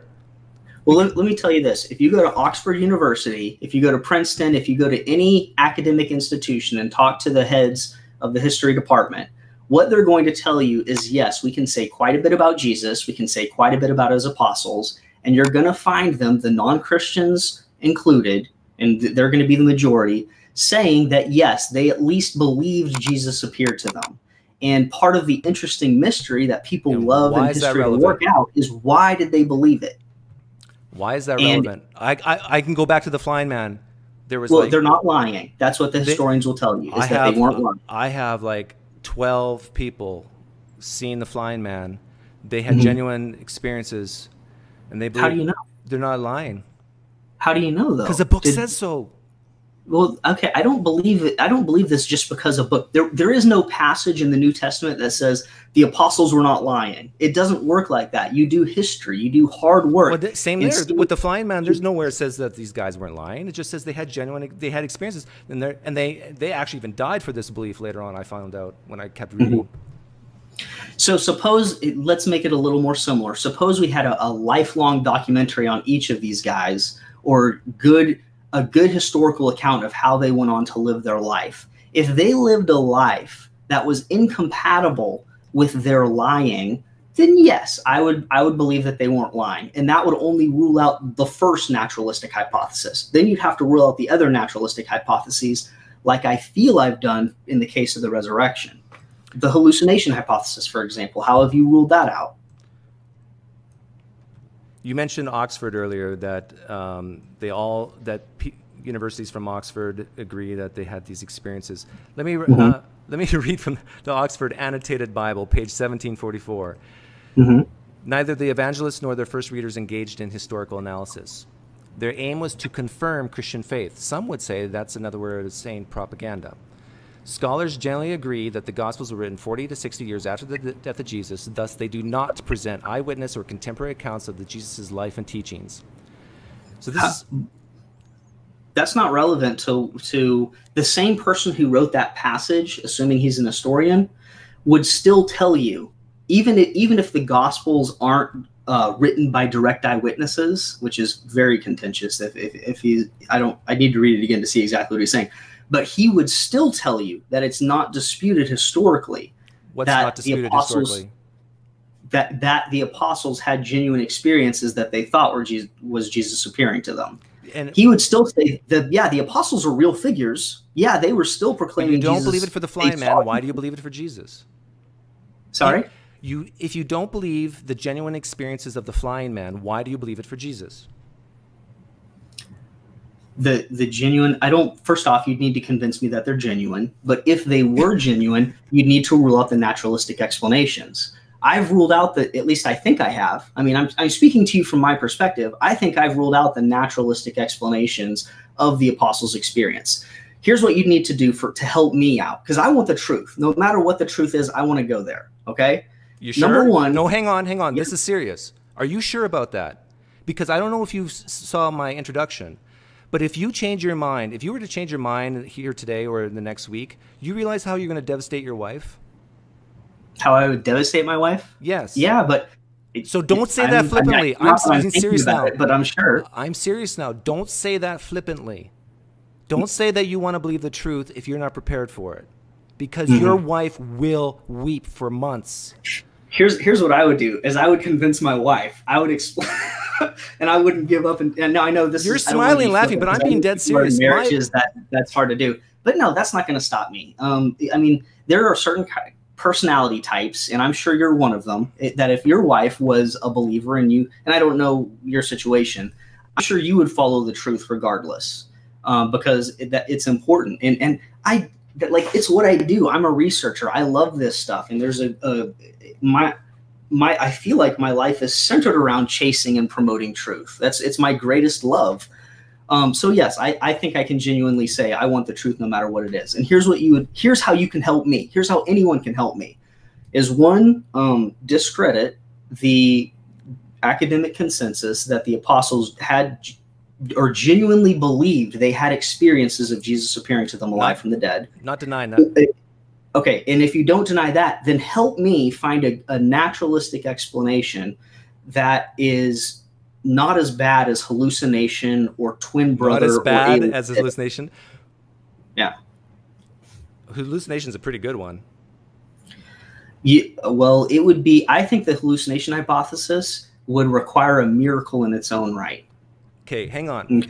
Hang on. Uh, Kamil wants to say something, but See, I, I get this impression that you are coming from the point of view that most of the stuff in the Gospels and the epistles you believe at face value, and the, this is the huge divide. Like my guess is, do nope. you believe there was twelve disciples? Sorry. Do you believe there was twelve disciples? Yeah, yeah, I think so. Yeah, and do you understand that? A lo- I wouldn't say most, but a lot of historians they don't. Um, I'm not sure what the consensus is on that. I know John Meier wrote a, uh, an article on the Circle of the Twelve that was pretty influential. So I actually think say- the majority do think. No, it, I actually do think the majority do that because Jesus was echoing the twelve tribes of Israel. So yes, I think that's a majority position. Yeah, well, By far. that's very easy to pin in later to make it fit. But, but my point is, the point I'm making is, you're coming from the point of view is, hey, we had 12 guys here, or 11, who saw the Mhm. risen Jesus, and plus we had um, 500, but you know, of course, that might not be true. Uh, and we, but we have Paul, but that might not be bodily resurrection. But but still, we have all these appearances. You're coming from that perspective, right? That this actually happened. That there was, that there was these people who made these claims of appearances, right? I'm not assuming anything. I'm going Okay, the okay. Let's say there was only one. Okay. Only one people who claimed to have the, who genuinely had an appearance. So uh, you're saying, uh, sorry, just so I know what you're saying, are you saying only one person claimed to have an experience? Right. right. Only Okay. one people claimed. Well, it's it's hard because the experience is real, but the attribution isn't. That's what I mean. So Sure. Okay. is hallucin hallucin um, hallucinizing that now off the table? No. Okay. Wait, I, I don't understand your whole scenario. You're you're saying, okay, consider the hypothesis here, or, or the the data that one person is claiming to have an experience of Jesus appearing to him, right, Blake? That's the that's the the data I'm giving you. Um, would you suspect hallucination? Is that kind of what you're saying? Yeah, if it was just for one. Um, that's because what's what's tricky is is Yeah, that's the correct answer is yes. You and me, I think, if we didn't have anything at stake, we'd say, yeah, of course, hallucination is better, right? No, I need to know all the data because that, that Ah, Blake, everything. come on. Yeah. Really? Or are you are you are you talking about like separate it from the New Testament? Just say like a neighbor was claiming that If Jesus easy- appeared to him. if it's easier Oh, for you yeah. to think that way, then Sure. okay, now Yeah, I would hallucination. Yeah, okay. that that takes away enough of the evidence that you'd need to convince me. Let's layer in two. Let's layer in two, but it wasn't at the same time. Two Uh-huh. hallucin. I can't say the word. Two of them. Two people claiming to have have seen Jesus. Yeah, Right. right. Do you believe it now? And, and if I had no other data, I'd, I'd suspect hallucination or lying, right? right. How many do? At what number do you say no? That's a bad reason. Probably the same number as you. There we go. We're not that much different. So when Yeah, no, I hear you say that hallucination is bad, a bad reason, like you said that earlier. Why do you Yeah. say that? In in this case, it's because um, I I have good reason to believe. First off, ruling out the lie hypothesis, I do believe that they were telling the truth. Um, and if if these people saw the experience together, maybe you were supposing that night, and I didn't know that. Are you are you assuming that these people were honest and they saw the thing together? No, separately. they saw Jesus appear together separately. Okay, separately it's not as strong. It's still there. In the case of the apostles, we have group. We have a group hallucination, several of them. You, but you told me earlier you don't believe things just. You told me earlier you don't believe things just because the Bible says so. Mhm. So why do you Just yeah? right. wh- why do you assume that it was together? um, because the the earliest Christians, the apostles, were widely proclaiming throughout the communities that it was a group appearance. And here's how I know that it's because of that creed that you mentioned a while ago in 1 Corinthians 15. We're talking about a creed that non Christian scholars will say was circulating among the early churches Right, but the you said Jerusalem you, church, real quick, real quick, just so you know the context. The Jerusalem church was the headquarters of early Christianity. The apostles were still there doing their thing long after Jesus had risen or passed or whatever you want to say. And they were regulating the churches all around in the area. And one of the creeds that was circulating among early Christendom, and we're talking from 30s to 40s, like right after the right after the alleged resurrection, was that Jesus died and appeared to Peter and the twelve. To what Peter evidence alone. do you have prior to the First Corinthians 15 creed that any of that's true? Sorry, say that again. What evidence do you have prior to that First Corinthians 15 creed that any of that's true? The First Corinthians 15 creed dates to 8030 or 8032, 8033 itself. So it, you can't get earlier than that, really. That's I'm as early as evidence that any of that is actually true. the evidence that convinces all non-Christian scholars that this creed is circulating at this early I'm not period. denying that the creed was there. I'm denying. Uh-huh. What evidence do you have to corroborate that that creed, that belief, that the belief is true, that reflects uh-huh. reality? Uh-huh. Do you have any okay, so that? So here, I'll, I'll give it to you. Step number one is what the creed does secure immediately, and that you won't deny it secures immediately, is that the apostles were proclaiming Jesus appeared to us as a group. That's step one. Okay, where? Do you show me show me that they were proclaiming that prior to 1 Corinthians 15.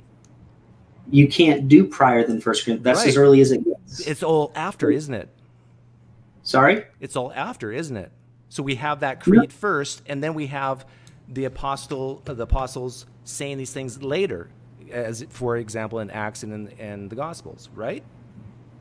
You've confused me when you when you are asking me uh, what is the earlier evidence if the if Jesus died in AD 30 and now we have a creed that scholars agree was circulating the apostles themselves were telling people the churches and everyone I, quote Jesus died. I, we don't know that. I'm asking for the evidence of that. I'm asking for an independent second here, here. source okay. piece of evidence other than 1 Corinthians 15.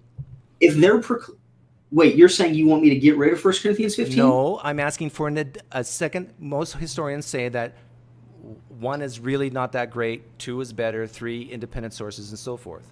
I'm asking for an independent source. I see.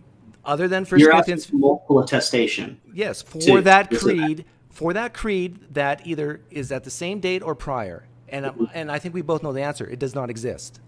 No, well, the you can see the the contents of the creed echoed in several spots. Uh, so in the book of Acts, it shows up. Book of Acts in, is written uh, 20, 30, 40, 50 years after. You're, you're right, but it pulls in material. There's two halves of Acts. It pulls in really early material, creedal material. Also, in the book of Mark, there's the pre-Markan Passion, okay, a, a, source that long predates when Mark was written. So you agree that there's no, no independent source other than for that creed that's, that's dated near that time or prior? Yeah, these would be another couple. This would be another decade or two after before okay. these other sources That's come fine. in. But hold on, I don't need multiple attestation for this. Nobody has that high requirement. Do you need it for the flying man? This isn't a flying man. This is just the apostles saying that Jesus appeared to them. There's no reason to doubt that the apostles were proclaiming, "Holy smokes, Jesus appeared to us. We saw him." What? And there's no reason to, to doubt that. Are you saying there's Sorry? no reason? There's no reason to doubt that. Uh, I mean, if you, maybe if you find it incredible, but non-Christian Is there any reason to doubt the flying man? Real quick, this is not a flying man. Non-Christian historians who are who do not believe in miracles widely will tell you, yes, in in those first few years, the apostles were were telling all the uh, churches, and they all knew it. Holy smokes, Jesus appeared to us as a group. We saw him. Those same historians will tell you those apostles were not lying. They, they almost certainly were not lying because of how they dedicated their lives, the way they would have ruined other people's lives intentionally if they were telling a lie, the way they put their own lives on the line says that they genuinely believed this stuff. Maybe they were mistaken. And that's why hallucination today is the leading naturalistic explanation for what happened to the apostles. And the hallucination hypothesis is incredible because you can't get away from the group nature. Are you aware that historians? Of, are you aware, sorry? Are you aware that historians agree that um, that Joseph Smith believed that he talked to an angel Moroni and found the golden plates? I don't. I don't think historians are reach a consensus on that. I've researched that there's actually four signed um, statements, sworn statements from. Yeah, but that's only, not historians. Yeah, yeah, no, that that was no, there was eight. You there was find, eight. There's there's moron moron Mormon historians who who specialize in reporting the beliefs of Mormons Mormons of that time. Does that mean that the beliefs of Mormons at that time were true? Wait, wait. Can you say that? Can you rearticulate that? Because I, I I missed it. There are historians who mm-hmm. agree that Joseph Smith honestly believed mm-hmm. that God was speaking to him, that he okay. had a vision of God, that he saw sure. Jesus and God uh-huh. on his first vision. It's uh, in his first diary, first vision, vision diary. And there's, right, right. there's historians who report this, who report mm-hmm. the beliefs, the creeds of Mormonism of that time. No, well, there's nothing analogous to the creed, but sure. I'm sure that there are historians. You have this idea, Blake. Blake, you got to get out of your mind that this that Christianity's special. I know it's tough for you, but but whenever I whenever I hear you say, "Well, there's nothing analogous to the, these creeds," I just I it, it drips and reeks of. But my religion's special. Don't bring up other religions.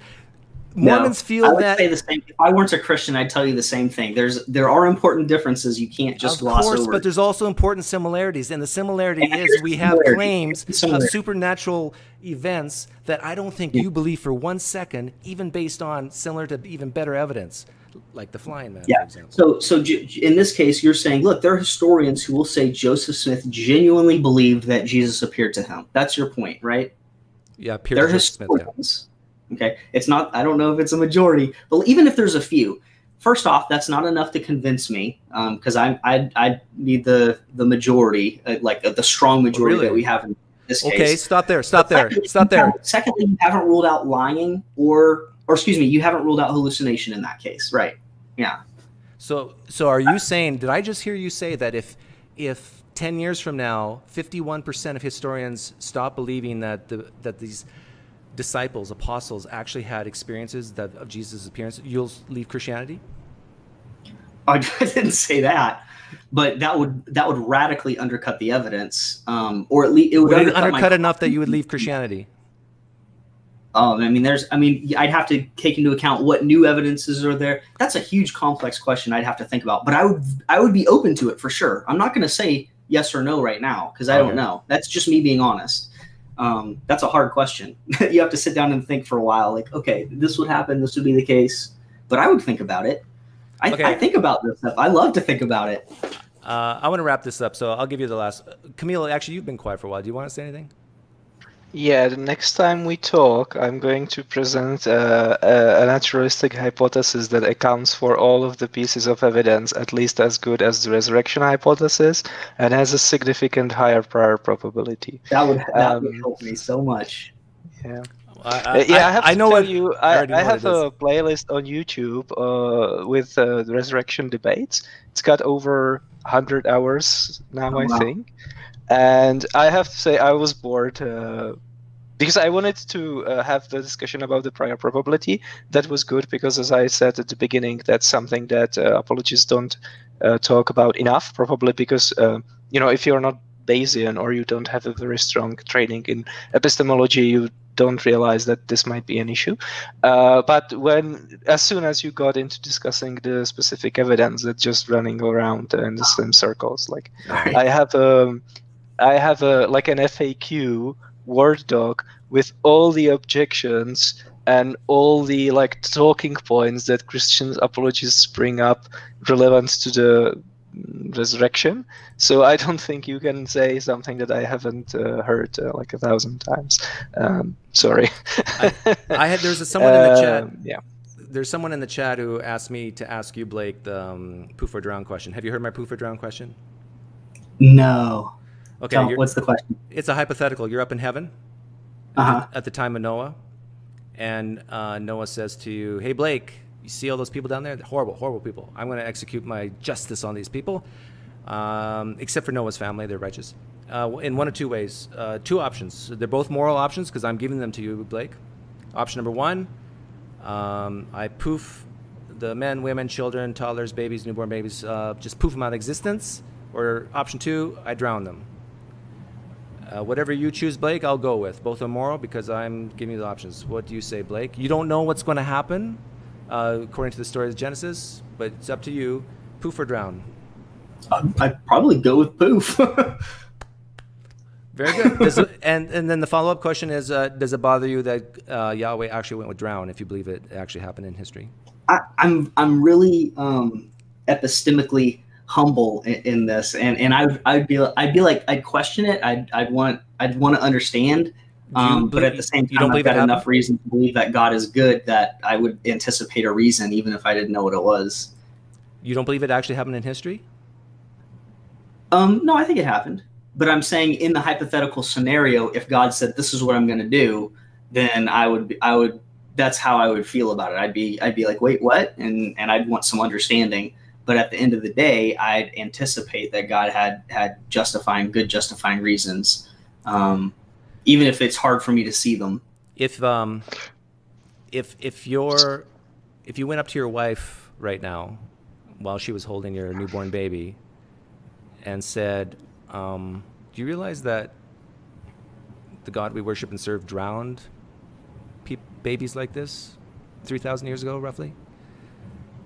That Jesus did this? Jesus drowned babies? What would your wife's reaction be? She she already knows. She's okay with Jesus. Yeah, she knows the babies? story. She's she's a she went to Bible study. But no, but did you hear what I said? I put it in the terms of Jesus, not Yahweh. Oh, yeah, she well she knows Jesus is God, and and I'm I'm being charitable, and I I assume that's what you mean, just God in general. Uh, Right. Jesus is But use the God. name Jesus instead of Yahweh. I, I actually challenge you to ask your wife that and see if it changes her impression of Jesus just for a split second. Okay. I, and in fact, I'll, I'll do that, but I'll tell you, she'll ha- probably have the same reaction as me, and, and it's like that doesn't. I already knew that, you know. But this, so, it doesn't so it doesn't bother your wife thinking that I don't. a baby is drowned, a toddler's drowned, doesn't bother at all. Oh, I'm. I'm uh, I mean, if you try to think back to any situation where there's suffering involved, I'm sure there there's some bothering there. Uh, the question is, what do you do with that? And I, I'm for me, if if the I guess if the ultimate argument is, hey, um, that there is either one, you shouldn't like God, or two, you shouldn't believe in God.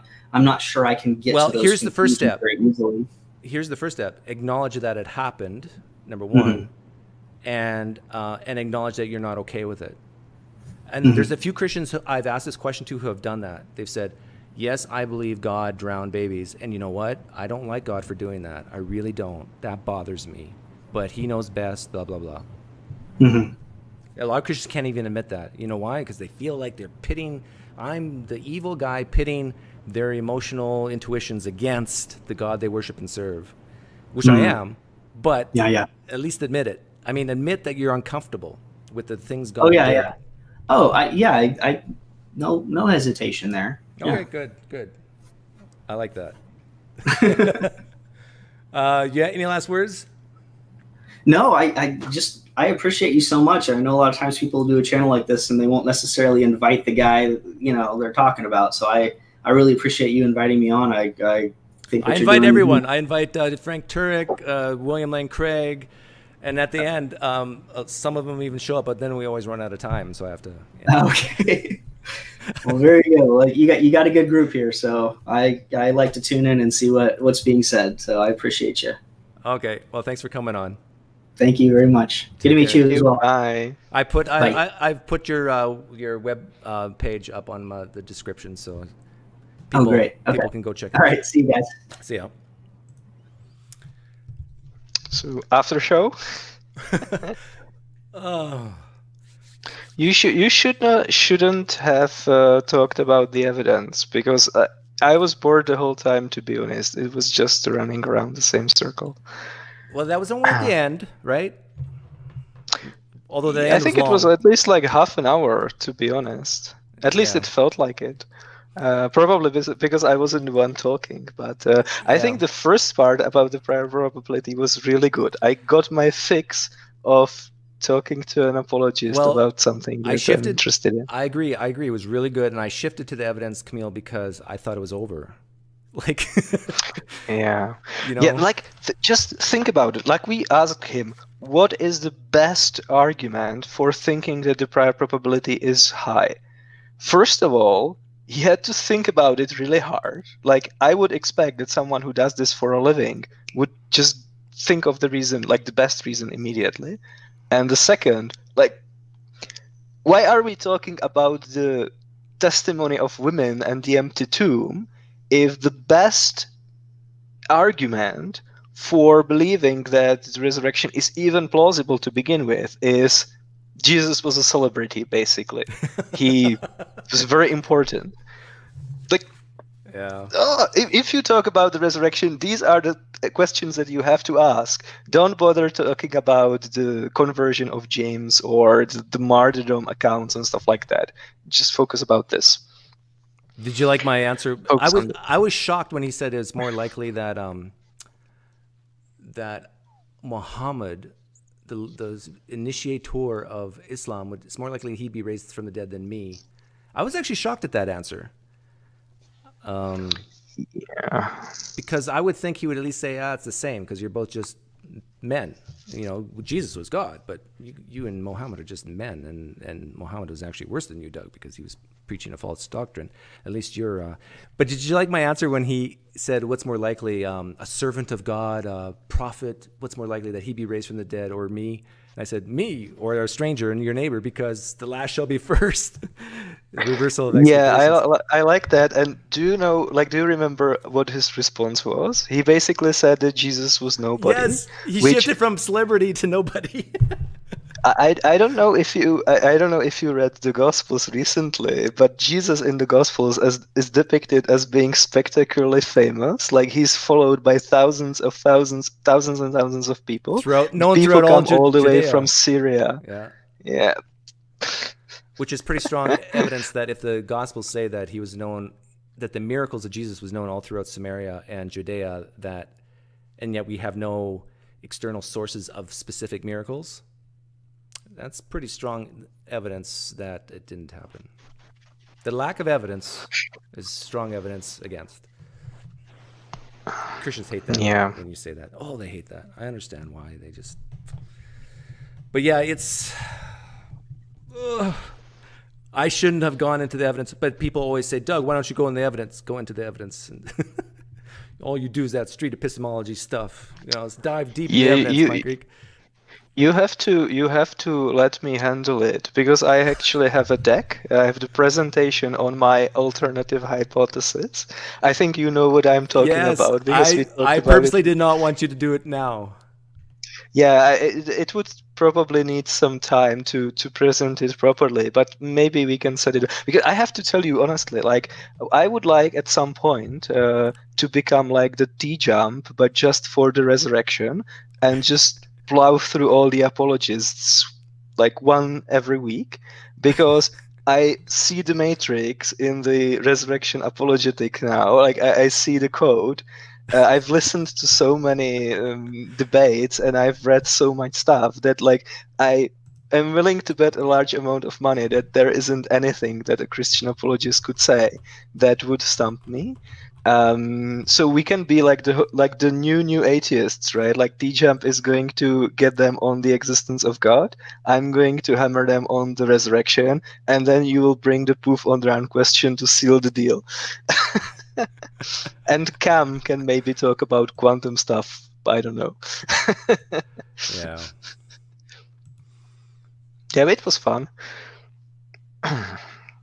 and Blake is really nice. Like I don't like he's a he's a genuinely likable guy. Like if, if you compare it to your mm, interview with Mike Licona, he was much more stiff, right? Like um Licona? Yeah. Blake even even when you were like really hard on him, he was always uh, at least he seemed uh, he's enjoying himself. I think uh, when I rewatch your uh, interview with like Mike Licona, he almost uh, Cried. looks like he wants to be somewhere else.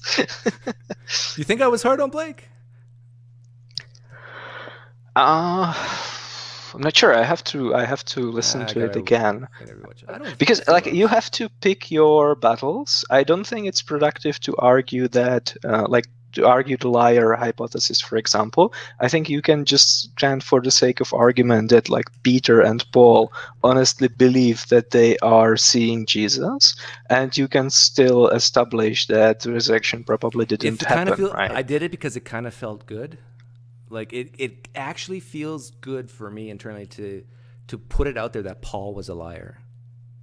It actually makes hmm. me feel a little like I'm having some fun. Because it's I know it's something it's like a shock value like what this is a man of God writing inspired words like you're calling him a liar? The the the, the point I'm making though is it is more likely that Paul's a liar than a man rising from the dead. Yeah, so, so sometimes when I like uh, when I can't sleep late at night, I think about like how probable it, it, is that Paul molested children. We just don't have any evidence for it because like Thomas Smith, Okay. right? Like he had sex with uh, girls underage. uh, not Thomas Smith, sorry, uh, Joseph Smith.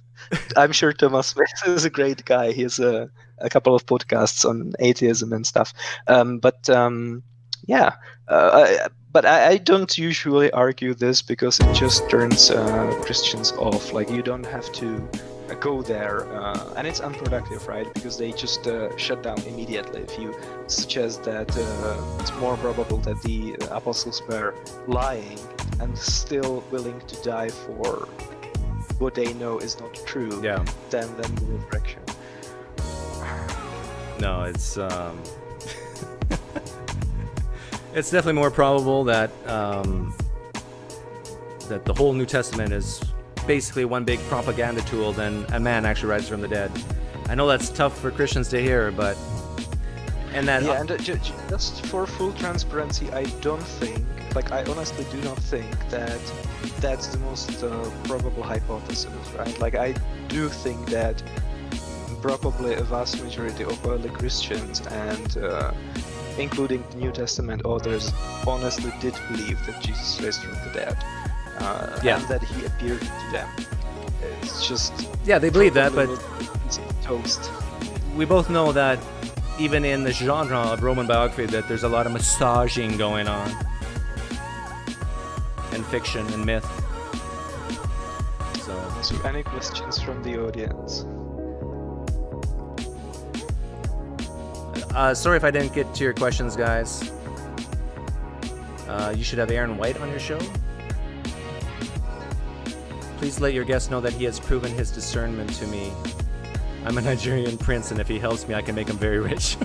oh, Yokun West. Be nice. That's funny, though. Did Moses exist in history? Probably not. Yeah, Aaron. You're welcome, Heath yeah, Farley.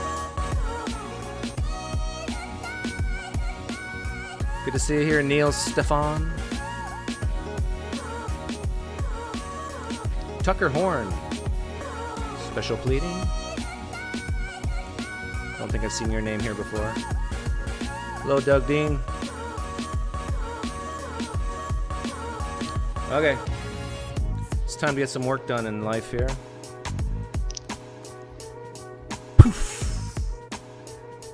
Thanks for hanging out, guys. Again, you can check out his um, uh, belief map website. The links in the description. If see if your uh, pushback against Christianity is in there, and if it isn't, maybe let him know. Have a great, great day, guys. Take care.